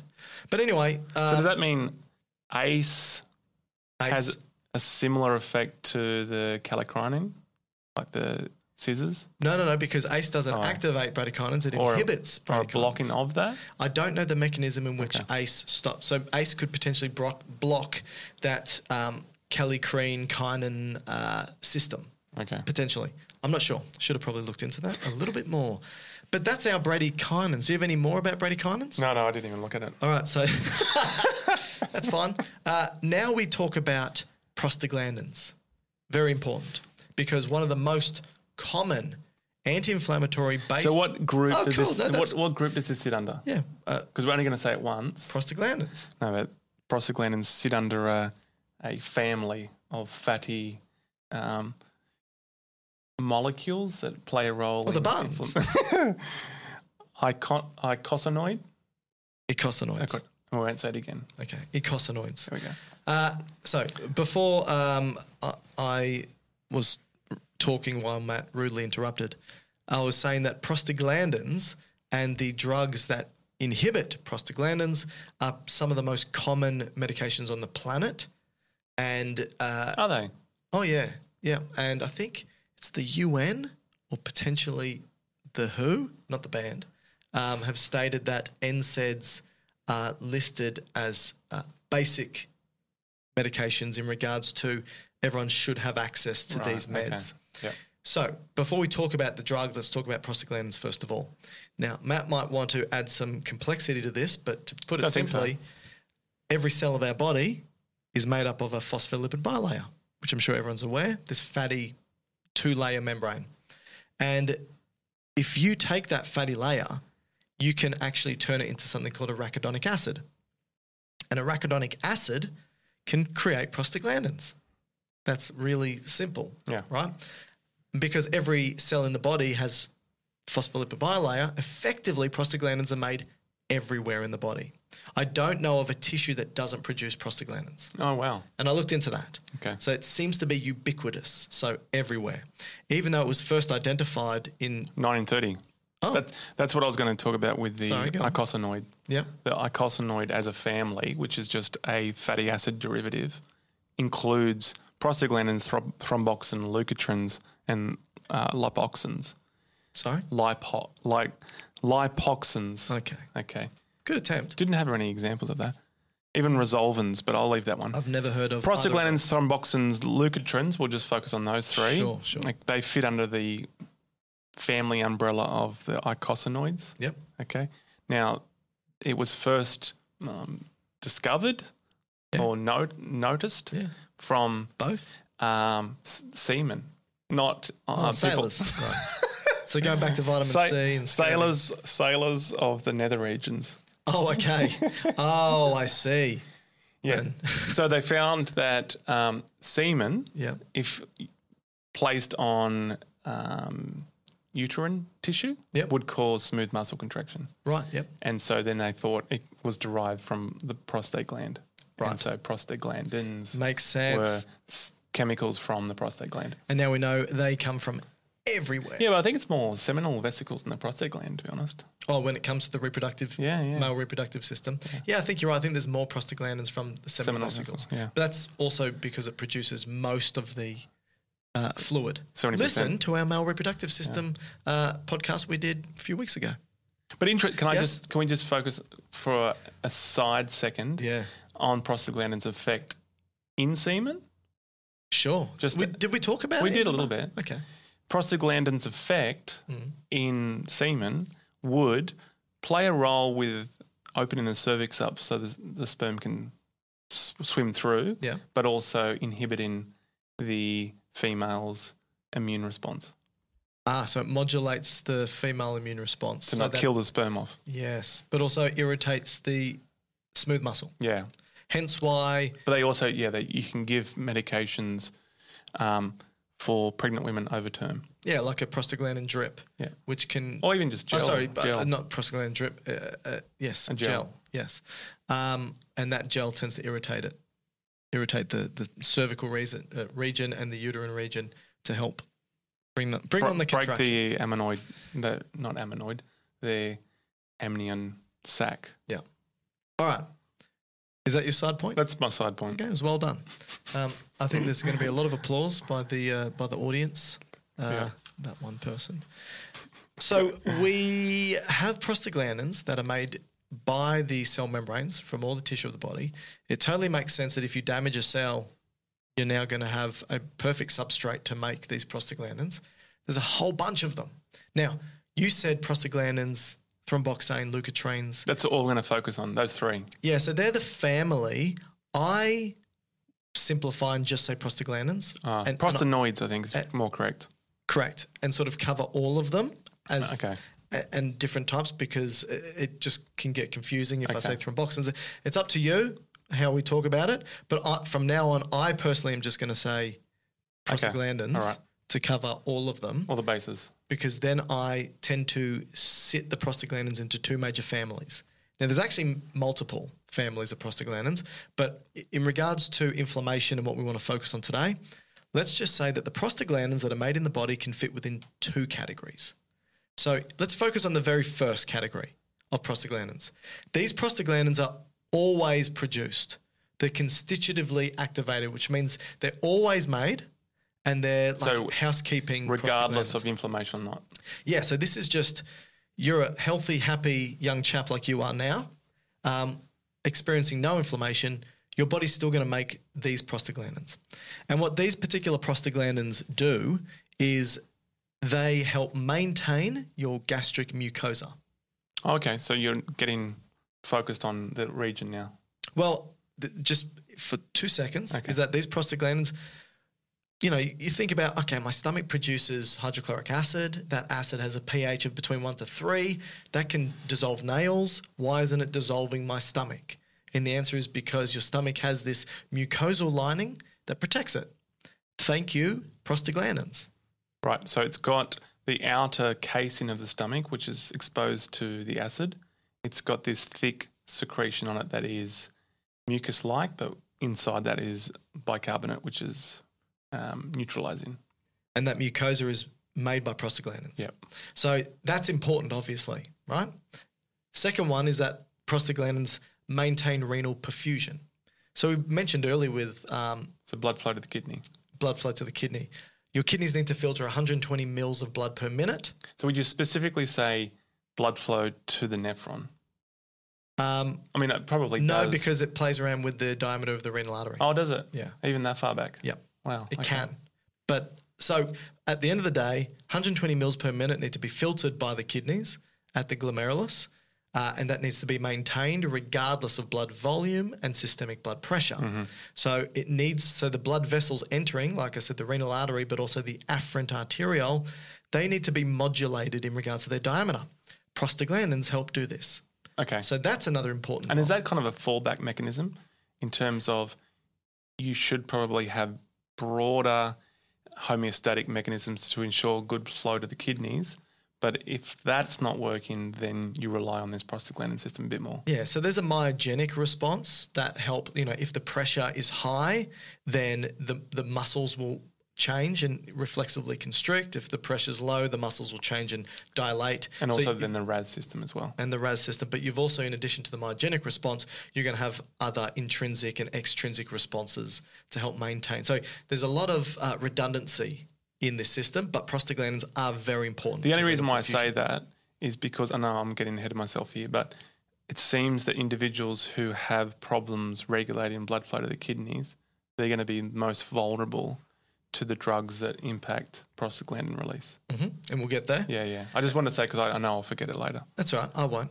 And uh, I probably will know me. All right. And, and so the so again, these are prostaglandins. This is all in the one column, right, of prostaglandins. And then these prostaglandins, Has this column got a name? no, Oh, okay. right? I'll tell you about it in a sec. These now another type of prostaglandins in the same column. Prostanoids, again, remember thromboxane, there's other ones, but we're just going to say prostaglandins.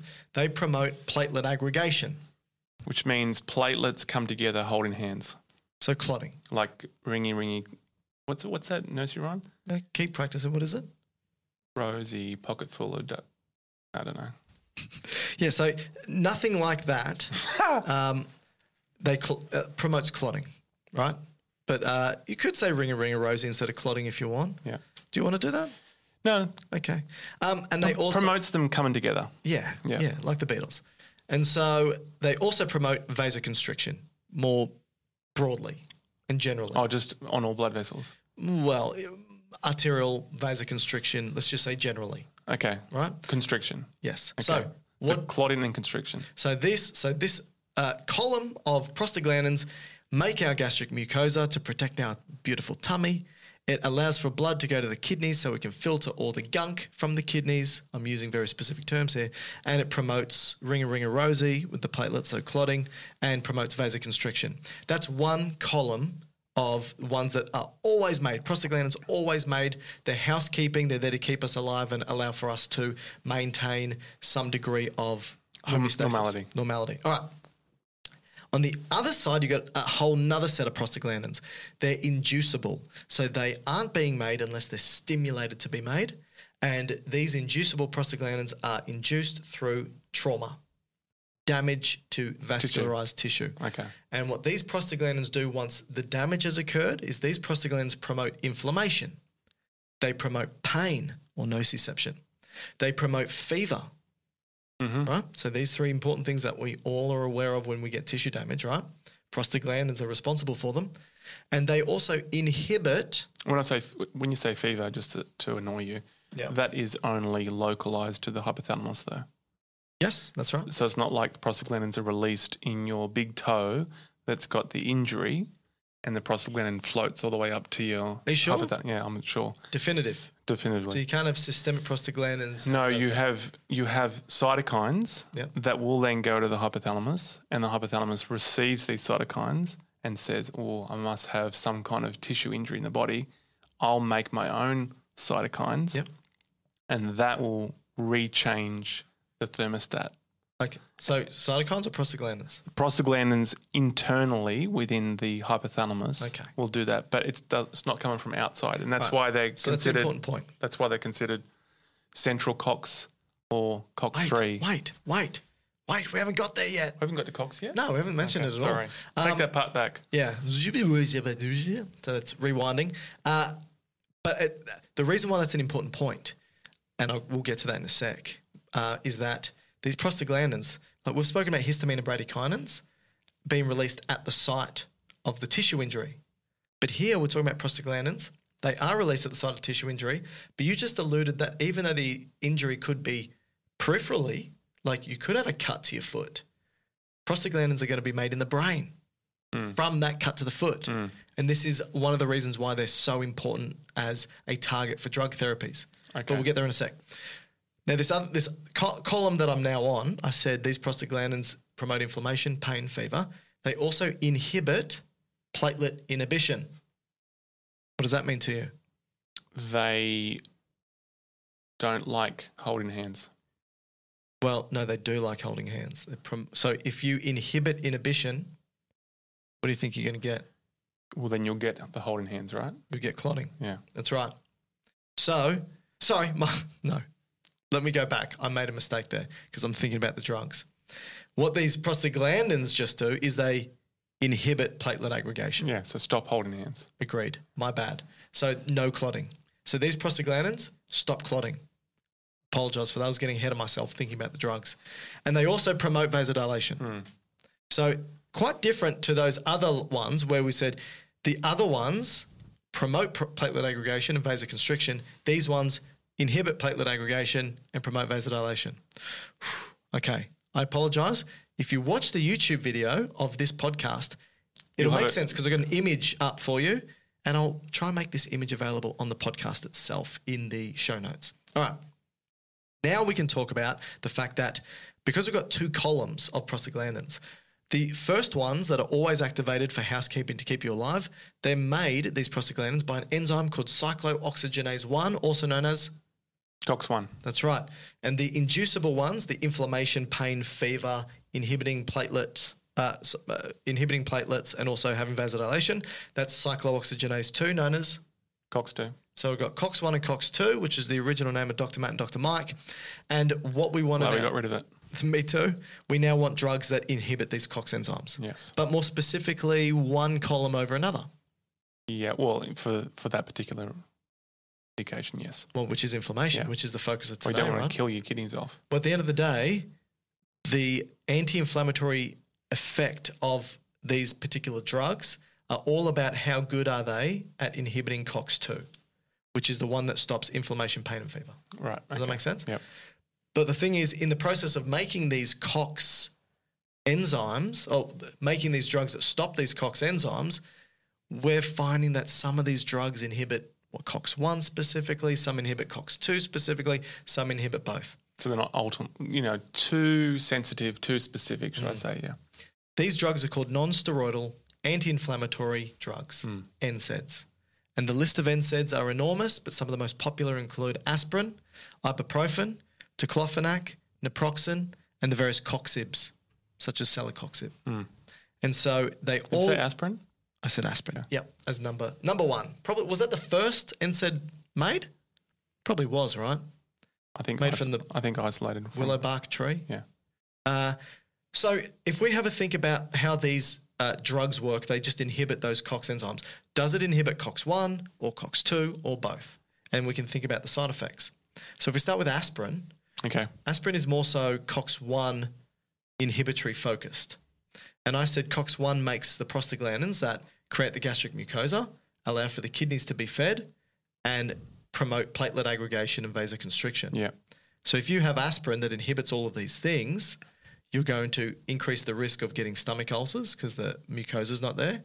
You might put your kidneys at risk of getting fed or perfused, and you're going to stop platelets from aggregating. Hmm. And of these three, stopping platelets from aggregating is pretty good for those who might be at risk of clots, Yep. strokes, heart attacks, Yep. cardiovascular events. Yep.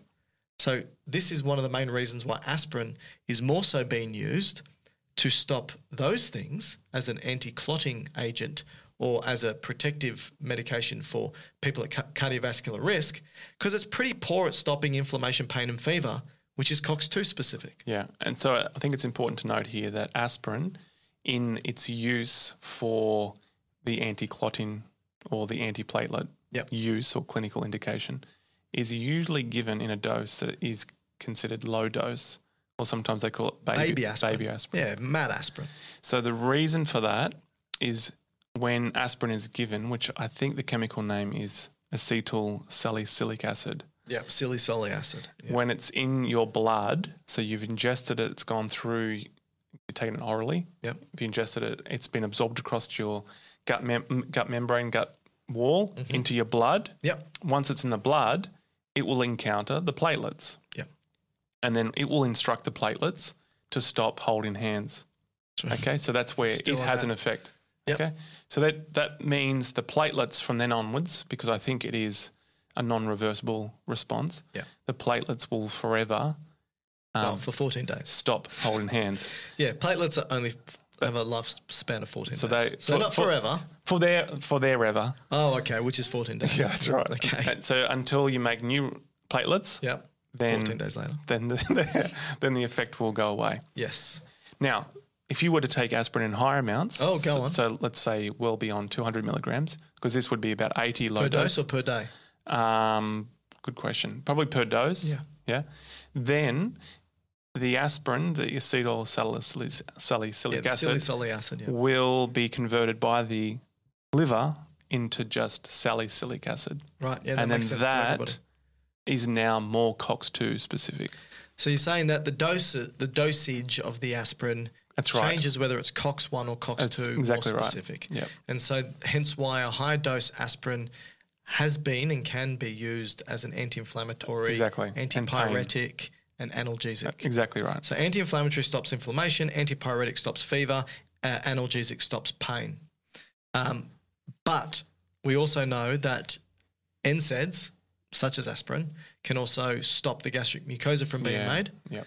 And so many people who are on aspirin long term for the cardiovascular protective effects may also need to be on a long term proton pump inhibitor, Right. a PPI, to protect their gastric Yeah. lining. Now that you might think, what about the kidney injury? What or what about the renal perfusion, kidney perfusion?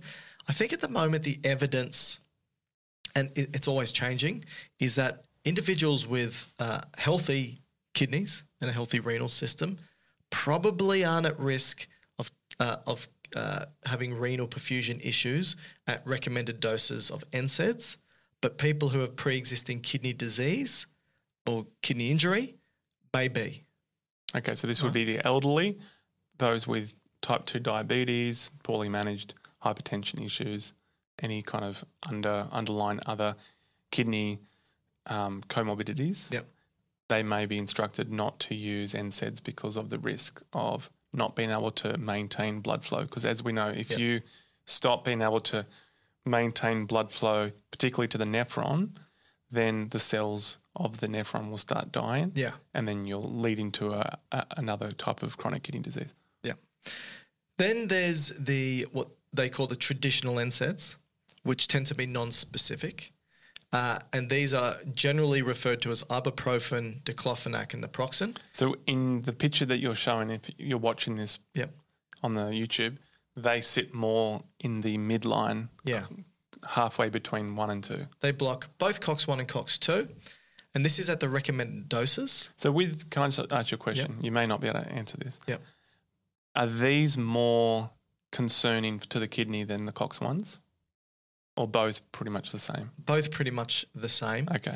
Uh, all of them really. Okay. Okay. Uh, but we'll get to we'll get to that point right, in a sec. right. So because ibuprofen um, which I think everyone's aware of, Hmm. right? Because it tends to just be called ibuprofen. Nurofen, Advil. Yep. Uh, diclofenac, which is Voltaren. Yep. Uh, naproxen, which are things like naprogesic. Uh, yeah, I don't know any other naproxen, but these are both COX1 and COX2 inhibitory. And because they're COX2, it means they're quite good at stopping inflammation, pain, and fever. Um, but they also have their uh, gastric effects And the kidney effects. and the kidney effects.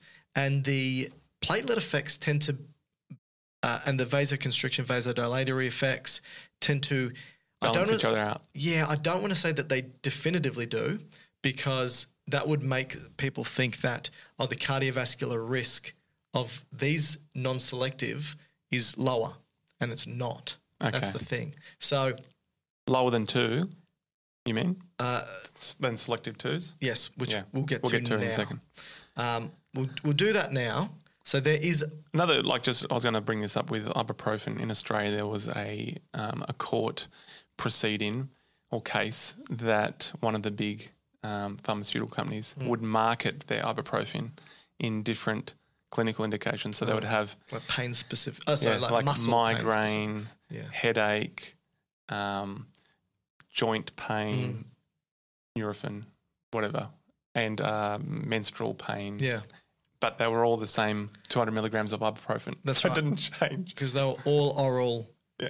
uh, anti-inflammatory. So it's, drugs. I guess the point I'm saying, it's not being specific to the type of, let's say, musculoskeletal pain. Unless yeah. unless you take an ibuprofen patch or diclofenac gel, right? But that would still, I mean, probably remain localized, but you're going to get some absorption, which which would go systemically, yes, not to the same level, but Yes, there would but- be still some of that. yes, but they are used quite effectively actually for osteoarthritis of the hip, hands, feet, for example, and have reduced side effects. Yeah. Uh, all right, so let's talk about now the COX2 specific. So you'd sit back and go, okay, if all of the anti-inflammatory, antipyretic, analgesic effects are COX2 specific, we're trying to find as many COX2 specific drugs as possible. And that's true because the anti-inflammatory effect is all about COX2 specificity. And we've made some, we've got some, and predominantly they're called the COXIBs. Um, And were these purely made to overcome the side effect issues of the others? Well, yes, and they were made because they wanted to be as anti-inflammatory specific as possible. But the problem is that when you inhibit COX2 specifically, you tend to also inhibit the platelet inhibitory effect, which means you Yeah. promote platelet aggregation And the vasoconstriction, and you Or the and- and dilation you stop the vasodilation, which gives a, a sort of like a reflexive vasoconstrictive effect. And so while these drugs are great at as being anti-inflammatory, antipyretic, analgesic, they significantly increase somebody's risk of cardiovascular disease. So and that would be like a goes heart up. attack. Yes, so blood pressure goes up, risk of stroke and MI goes up. But here's the thing. Because so you'd go, oh, okay, then well, Why take it? yeah.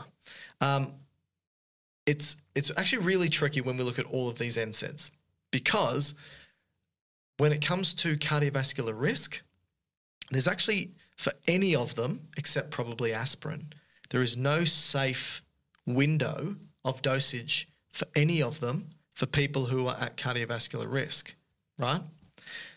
People who took the COXIBs, COX2 specific, and diclofenac, which is slightly more COX2 specific than COX1, were at a 70% increased risk of having a heart attack compared to people who didn't take any NSAIDs. And a heart attack basically is a reduction of blood flow to the heart muscle, which commonly is caused by a thrombus forming Yeah. or at least a narrowing of the blood vessel. Yeah. And so this type of COX2 specific is kind of doing both in a way, Yeah. promoting the possibility of a clot forming, Yeah. but also narrowing blood vessels. In this case, I guess it could be the coronary artery, Mm. which would likely increase, like you said, the chances of an ischemic event.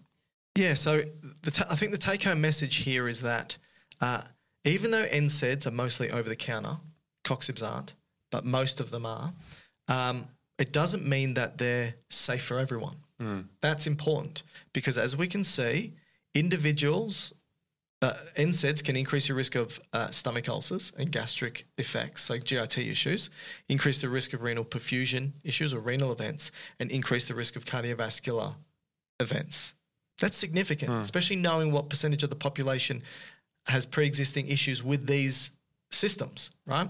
So people can be at risk of GIT, CVS, and renal events. Um, topical NSAIDs, like I said, the ibuprofen patch, um, ketoprofen patch, the diclofenac, Voltaren gel sort of thing, they've shown to uh, reduce pain, particularly osteoarthritis, Yep. joint associated pain, um, with very few adverse effects. Wow. Simply because of it acts at the tissue specifically, but does get into the bloodstream, like we said. But this is when we're focusing on things like musculoskeletal pain. Yep. But pain can be more than that. And again, but we're focusing on inflammation.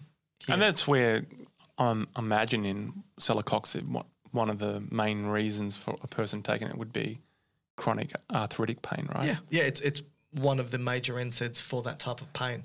But again, need to be mindful of the cardiovascular risk because there is Yeah. no safe window of NSAIDs when it comes to cardiovas- increasing cardiovascular risk. Mm-hmm. So that's super important.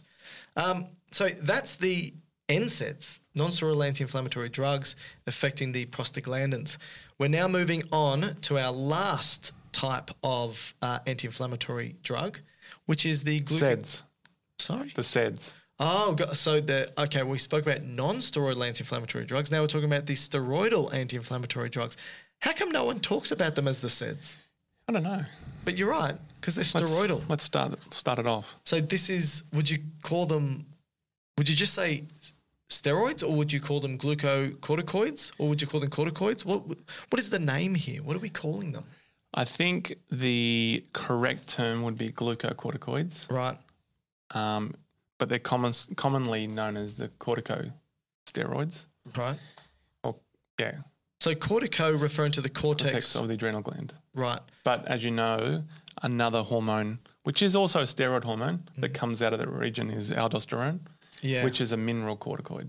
All right, so can we go back to just the adrenal gland for a second? Yeah, yeah. So before we talk about, so we have an adrenal gland, and that. Two. Oh, we got two. Yeah. That's good to know. All right.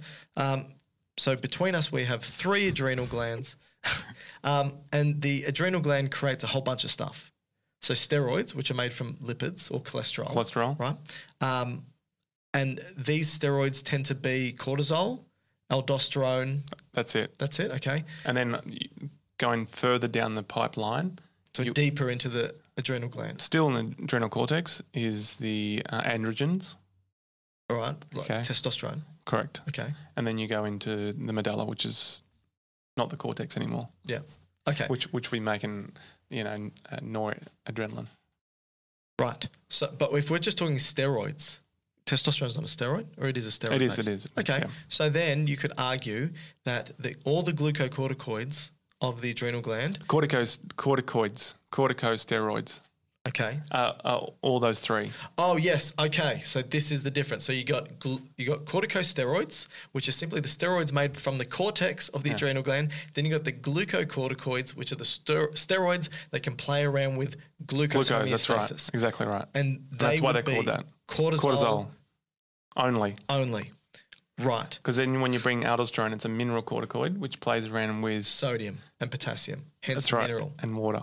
Yeah, All right. exactly. So that was for everyone else, not me. so what you're saying is we're now talking about an anti-inflammatory drug, which is called the glucocorticoids because they act like cortisol, Exactly which, right. which plays around with glucose homeostasis. That's right. Why? Why are we looking at this particular one? What is the role that it plays? And why is cortisol important here? Well, I guess in this case with cortisol, you know, you release release this out of your adrenal cortex all the time.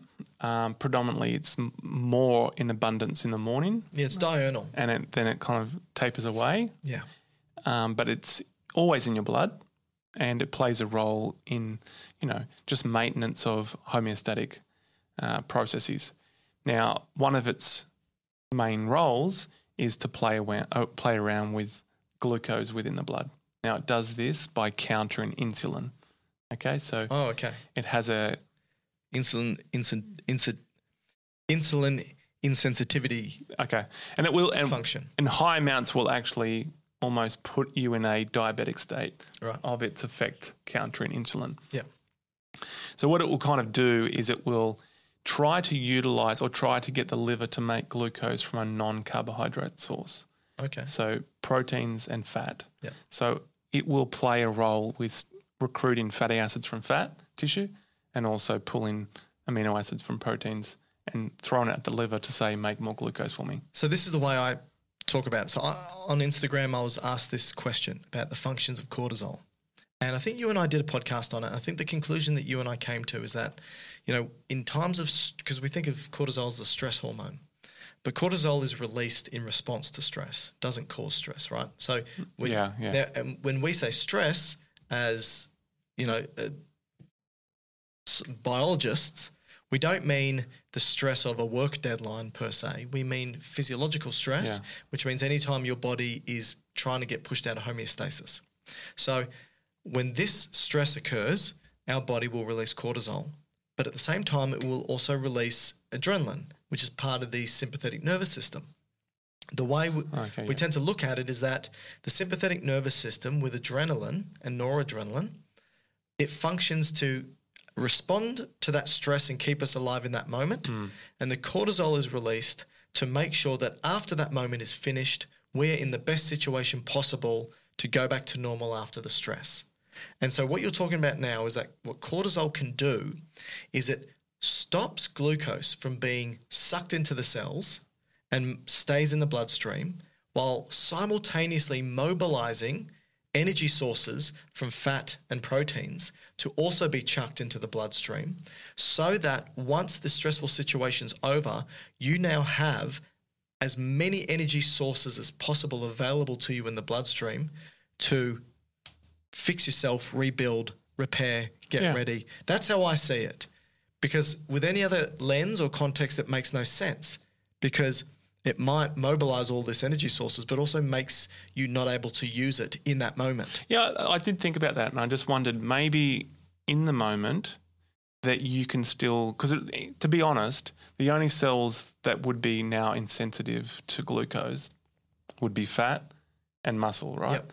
But if you were in a stress response, and let's just say it was the typical response that everyone thinks of, if you would now physi- have a, a high physical demand, Yeah. my understanding is skeletal muscles can then shift to be insulin um, insensitive or not specific, right? So Yeah. they can actually start sucking glucose up without the need of insulin. But remember, if you're in that situation, your muscle will have enough glucose for itself. Okay. So it won't require that glucose from the bloodstream.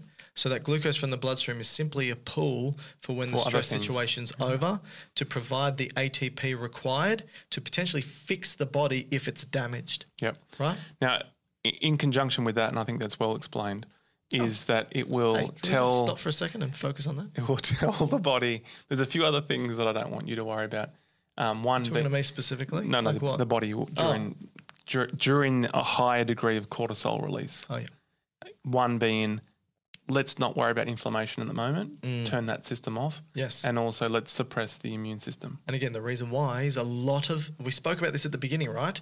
Where the thing that happens during inflammation is that the energy, you go into an energy conservation mode and you divert resources to the immune response. So it's very energy hungry inflammation. Yeah. And so is an immune response. So cortisol goes, well, we need this energy elsewhere. I'm going to suppress the immune system, suppress inflammation. And again, it's about trying to put you in the best situation for afterwards. And then people who take medications uh, that promote a lot of cortisol or cortisol like effects, Mm. they will also tell you that they have trouble sleeping and they're highly energetic and almost euphoric. Yeah. So, my guess there would be if you're in that kind of survival mode, you probably want to remain awake and you want to be highly functioning Yeah. to get out of that issue that you're in. Yeah, because cortisol can have effects at the hypothalamus and help promote the release of adrenaline, noradrenaline as well. Yeah, I think it. I think it kind of um, synergizes it, It right? And same with the um, hormones from the thyroid. Yeah. All this kind of amplifies the effect of the sympathetic nervous system. Yeah. So, and this would probably not last within minutes. It's probably going to go hours to days. Short, you know, not, not a lot of days. You're talking about from a, a, a normal stress response, or you're talking about taking a cortisol? no, no, just a normal response, but a significant one, right? Yeah. Like it could be over a number of days where you are, Yeah, and I'd that's probably say hou- hours. yeah, I would say, I mean, I would say that the a, a- acute phase of it would be hours, but probably going back to normal would be potentially days Hmm. in regards to, you know, going back to the normal blood glucose. Well, that would happen pretty quickly. Yeah, look, I'd probably say hours, in all honesty. Um, but the, I think the main point we're trying to get across here is the fact it can suppress inflammation. yes, And the main thing is it's doing that again so that we've got the energy to help fight and then repair after the fact. So w- what we've now done is we've figured out how to make drugs that mimic this cortisol-like effect that we call glucocorticoids. yeah, and the, generally the way they're broken down in the medication categories are based on their how long they last. Yeah. So you have your short term, you have your intermediate, and you have your long term mm. glucocorticoids. Yeah. And usually, as you go up the scale of duration, they're all, all also more potent.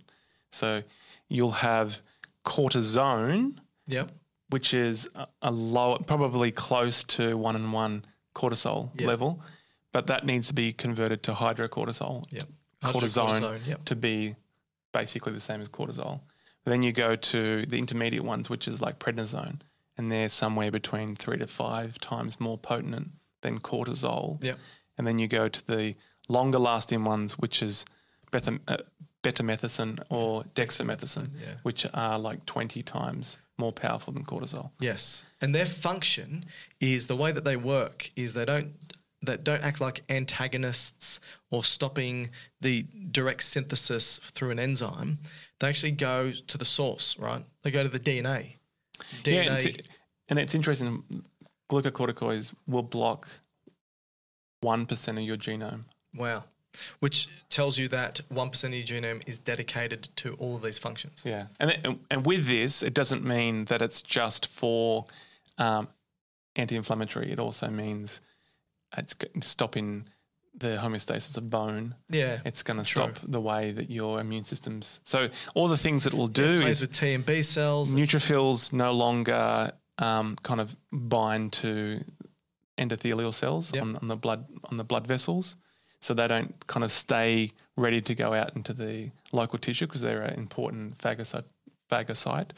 Um, they will reduce, yeah, the activity of neutrophils, um, macrophages, mast cells. They'll decrease T helper cells activity. They'll decrease. The They do boost some immune cells. Okay. So it's not all about suppression, it's just about modulation, but most of it is suppression. And then all the mediators that we spoke about, so the prostaglandins, both at the source of they no longer produce the the COX enzymes, but Yeah, also right. the um, arachidonic acid precursors. Yep. The the way that the all the interleukins and so forth. So all these are stop made. Yeah. And so this is why it would be useful as an anti-inflammatory, but unlike the other two, like the antihistamines or the uh, NSAIDs, Yeah. these are doing like everything. yeah. So it's kind of doing a, a whole cloth res- response to it all. I think it's. I think you made this point. It's that meme where the guy's slapping the tape onto the the hole that's in the big water tank, and uh, the way I think about um, the drugs that target prostaglandin, like NSAIDs, and you know antihistamines and the bradykinin antagonists, they're sort of you know there's the hole in the water tank and the water's squirting out. They're sort of a bucket catching that water, stopping it from having any more effects than it already has. When the glucocorticoids are slapping the tape on the hole, it's stopping it at its source. Yeah. Right. Um, so the main function here is it goes to the DNA, stops the because remember DNA needs to be transcribed into RNA and needs to be translated into amino acids, which then fold into functional proteins. And these might be enzymes like, like you said, the COX enzymes. Uh, it could potentially be ultimately prostaglandins. It could be histamines and bradykinins and T cells and B cells. It could be a whole range of things. And so it's just stopping that effect hence the reason why you said sometimes these effects can last more than hours, but days, because if it's stopping the transcription and ultimately translation, uh, there needs to be a half life to it, right? Um, so if somebody takes, so you said that you got the shorter terms, which is cortisone, hydrocortisone, intermediate terms, prednisone, for example, long term like de- dexamethasone. Um, the side effects of these things, right? Well, firstly, the indication. So, why would a person want Oh, to yeah. take glucocorticoids? Yep. So, one being asthma. Let so, me guess, inflammation. yeah. Well, let's start with asthma. Okay. Asthma, arguably, um, for many people, is, is uh, ectopic. What's that Um, mean? Or, no, sorry, not ectopic. Atopic, Atopic. which atopic, Yeah. which is um, allergy based. Okay. Okay, which means that the bronchioles will start to fill with fluid Mm-hmm. and kind of restrict. So have a, an important inflammatory base to it. Mm. And so if you were to give um, patients either topical, Oh, it's a bit hard when it's in the airways. yeah, so topical, I mean, Drink this gel. topical would be through inhalation.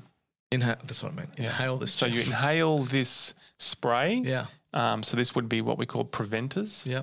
And so that would be maybe beclomethasone.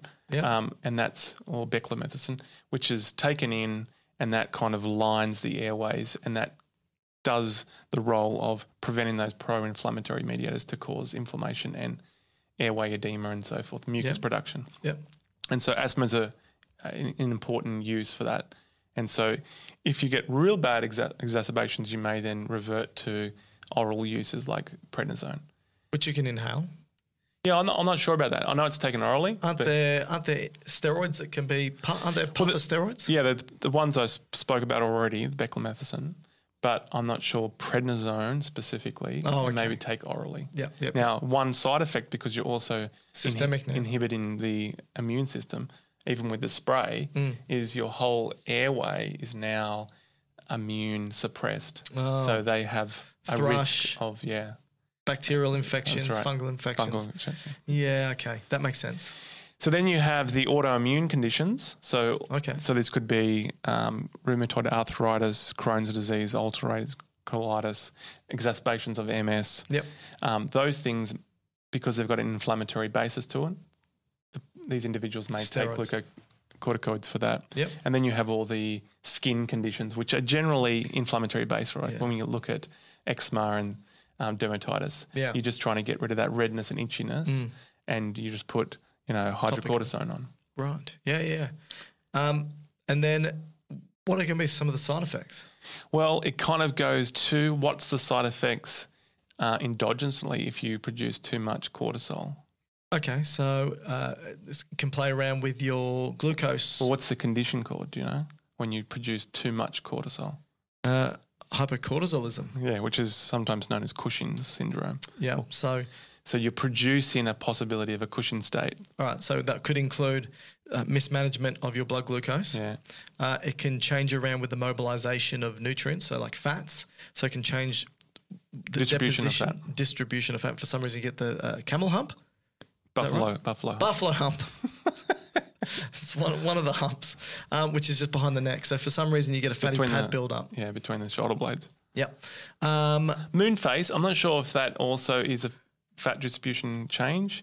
not It's prob- fluid. probably also fluid. Yeah. Yep. So because, but isn't that because cortisol, because it's released right next to its um, mineralocorticoid? I think cortisol brother, also has a, a lower, Has a but still a mineral effect. That's right. which means it can act similar to aldosterone, That's which means it reabsorbs sodium, making more water be stored in the body or held onto.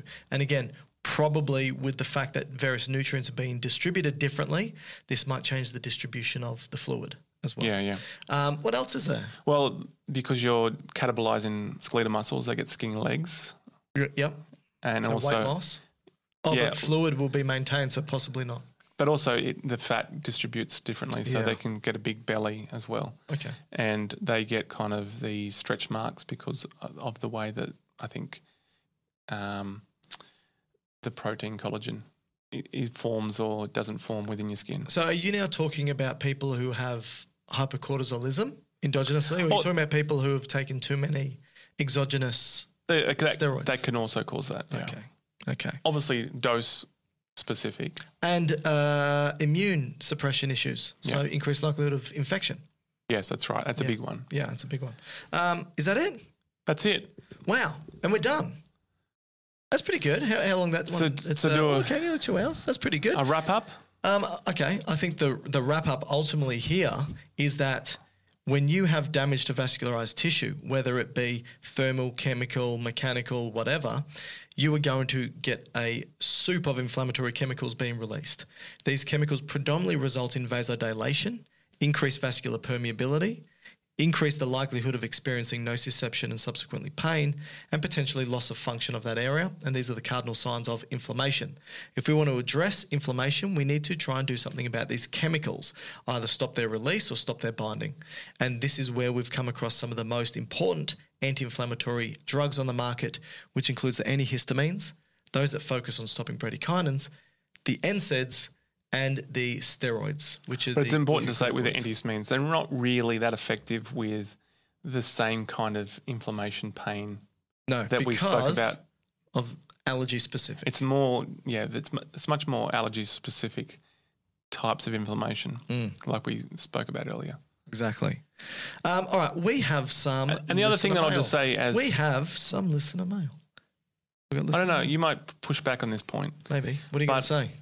I think it's als- also important just to state that we mentioned at the start that inflammation is a body response to injury Mm-hmm. and it plays an important role in recovery and repair. Yep. And so it's not always advisable necessarily Oh, to yeah. try to inhibit this response because part of your resolution and recovery requires you to go through that inflammatory response. Yep. So you Absolutely shouldn't correct. necessarily try to inhibit it every time you have acute inflammation. Maybe if it's going to cause more problems, it's Like I said in- at the beginning, it's yeah. context dependent Yeah. because sometimes acute inflammation needs to be knocked on the head. Sometimes it can be left alone, right? yeah. And um, you know, sometimes you don't want to inhibit the inflammatory response because it might lengthen the recovery time Yes. or repair time. But again, the question might be, well, how do I know when to do that? And the answer is maybe you don't. Maybe you need to see your doctor and say, I've got this particular inflammatory response. Is it worth me taking NSAIDs or not? Right? Or I've had this inflammatory response and it's lasted six months. What do I do? about your rash. Yeah, well, let's not bring that up again. Am I reading first? Yeah, you I'll read first. Okay, this one uh, is, well, it states Hi, Dr. Matt. Hmm. Okay. Hi, Dr. Matt. All right. Anyway, I'll just move on. Uh, just wanted to say hello and let you know that both you and Dr. Mike, all right, could have emailed it to me. Uh, I think it was sent, sent to both of us, but you don't check your emails. maybe that's correct. Uh, are absolutely saving my life and sanity at the moment. I start a new job as a trainee nurse practitioner in September, and there's just so much to learn. So this is from Marie. Uh, like you don't already know, there is a lot. That's for sure. Uh, Matt and I are always learning. I promise you that. I absolutely love listening to your podcasts. You both keep me company in the car, and it's made learning tricky topics that little bit easier. I have my OSCE exams in a few weeks, so we'll see how it goes. I suppose I just wanted to say thanks for going to the trouble of sharing your expertise and time to teach idiots like me who are a million miles away. Don't say that. The only idiot I know is sitting next to me. If you're ever over in Manchester, I absolutely owe you a drink. Thanks again and keep doing what you're doing. Take care, Marie. Thanks, Marie. And if I do go to uh, Manchester, which I believe is in England, Well uh, done. I will. Isn't that your favourite football team? Um, I don't follow. Manchester United? You don't, Sport. You don't, yeah, that's right. You play play it. sport, but you don't like it. I'm very good at sport. I'm probably the best you know. Uh, but I can bet you at golf and cricket. oh wow, two sports that I wouldn't even call a sport. Wow. Oh, I can beat you at You're hitting, you're hitting a ball with a weird shaped stick. You're going to basically what you're attract uh, criticism via emails, and I'm the only one that reads them. All you can do is hit a oddly shaped ball with an oddly shaped stick. What about tennis? You love tennis. I'm way better than you at tennis. And it, that's the most oddly shaped stick. Inc- incorrect. All right. Thank you, Marie. Matt, what do you got? Okay, this is from Callan. Callan's subject here is cardiology and pathology. Hello, fine gentlemen. I'd, I, I'd love to hear you guys talk about cardiology, cardiopathology slash pharmacology. Keep up the good work, guys. The notification of a new episode makes me so damn happy every time. Oh, Cheers, that's nice. Cal from Tassie. That's Tassie is Tasmania. That's true. I know a Cal from Tassie, so I wonder. I think I, I think this is the same Cal. I think this is the Cal that actually helped make our. He made our. Uh, his brother made our wooden um, Plaque. plaque. Which we still have to the frame. YouTube button, We- which we had to take down off the wall. 'Cause It keeps falling down because it it, keeps falling doesn't down. stick to the back of it because it's lacquered. That's right. So, Kel, please remember the reason why it's not on the wall at the moment is because we need to simply drill a hole, and we just haven't done that yet. Um, but yeah, we should. We've done some cardio stuff, but we haven't done. We've done some um, antihypertensive stuff, right? So, uh, We'll do anemia. How's that? Is that cardiology? All right. no, no. that's hematology. All right, Natalie. Email from Natalie. Dear Dr. Matt and Dr. Mike, my name is. Uh, sorry, Natalia. This is my fault, Natalia. Uh, my name is Natalia, and I'm currently an undergraduate student in the United States. I'm going to put an accent on now at Vanderbilt University. I recently got my results, but no, that's to Southern? sound. That's at the Southern. Where's Vanderbilt University? I'll Google it. You, You, you figure that one out. Um, I recently got my results back for my secondary school international baccalaureate. Oh, awesome. Um, so the international baccalaureate is so that you can basically get accepted into any university globally, right? I think that's what the international baccalaureate is. Um, that I took in spring, and one of those exams that I took was higher level biology. After two years in the class, Oh, you Wow. were you were fairly right. Nashville. Nashville, Tennessee. I hope that my accent is correct and not condescending or rude. Um, and one of the exams was More, more emails. More emails. higher level biology after two years. This is high school. That's I, I never would have done that. So I watched your video. what high school? Well, I barely finished high school in all honesty. I definitely wouldn't have been able to do the international baccalaureate and do higher level biology for two years. Um, I watch your videos every day up until that exam. I've never considered myself to be strong in science, but I could always understand uh, even some of the more complicated lectures because of the talent you both have for teaching. That's very kind.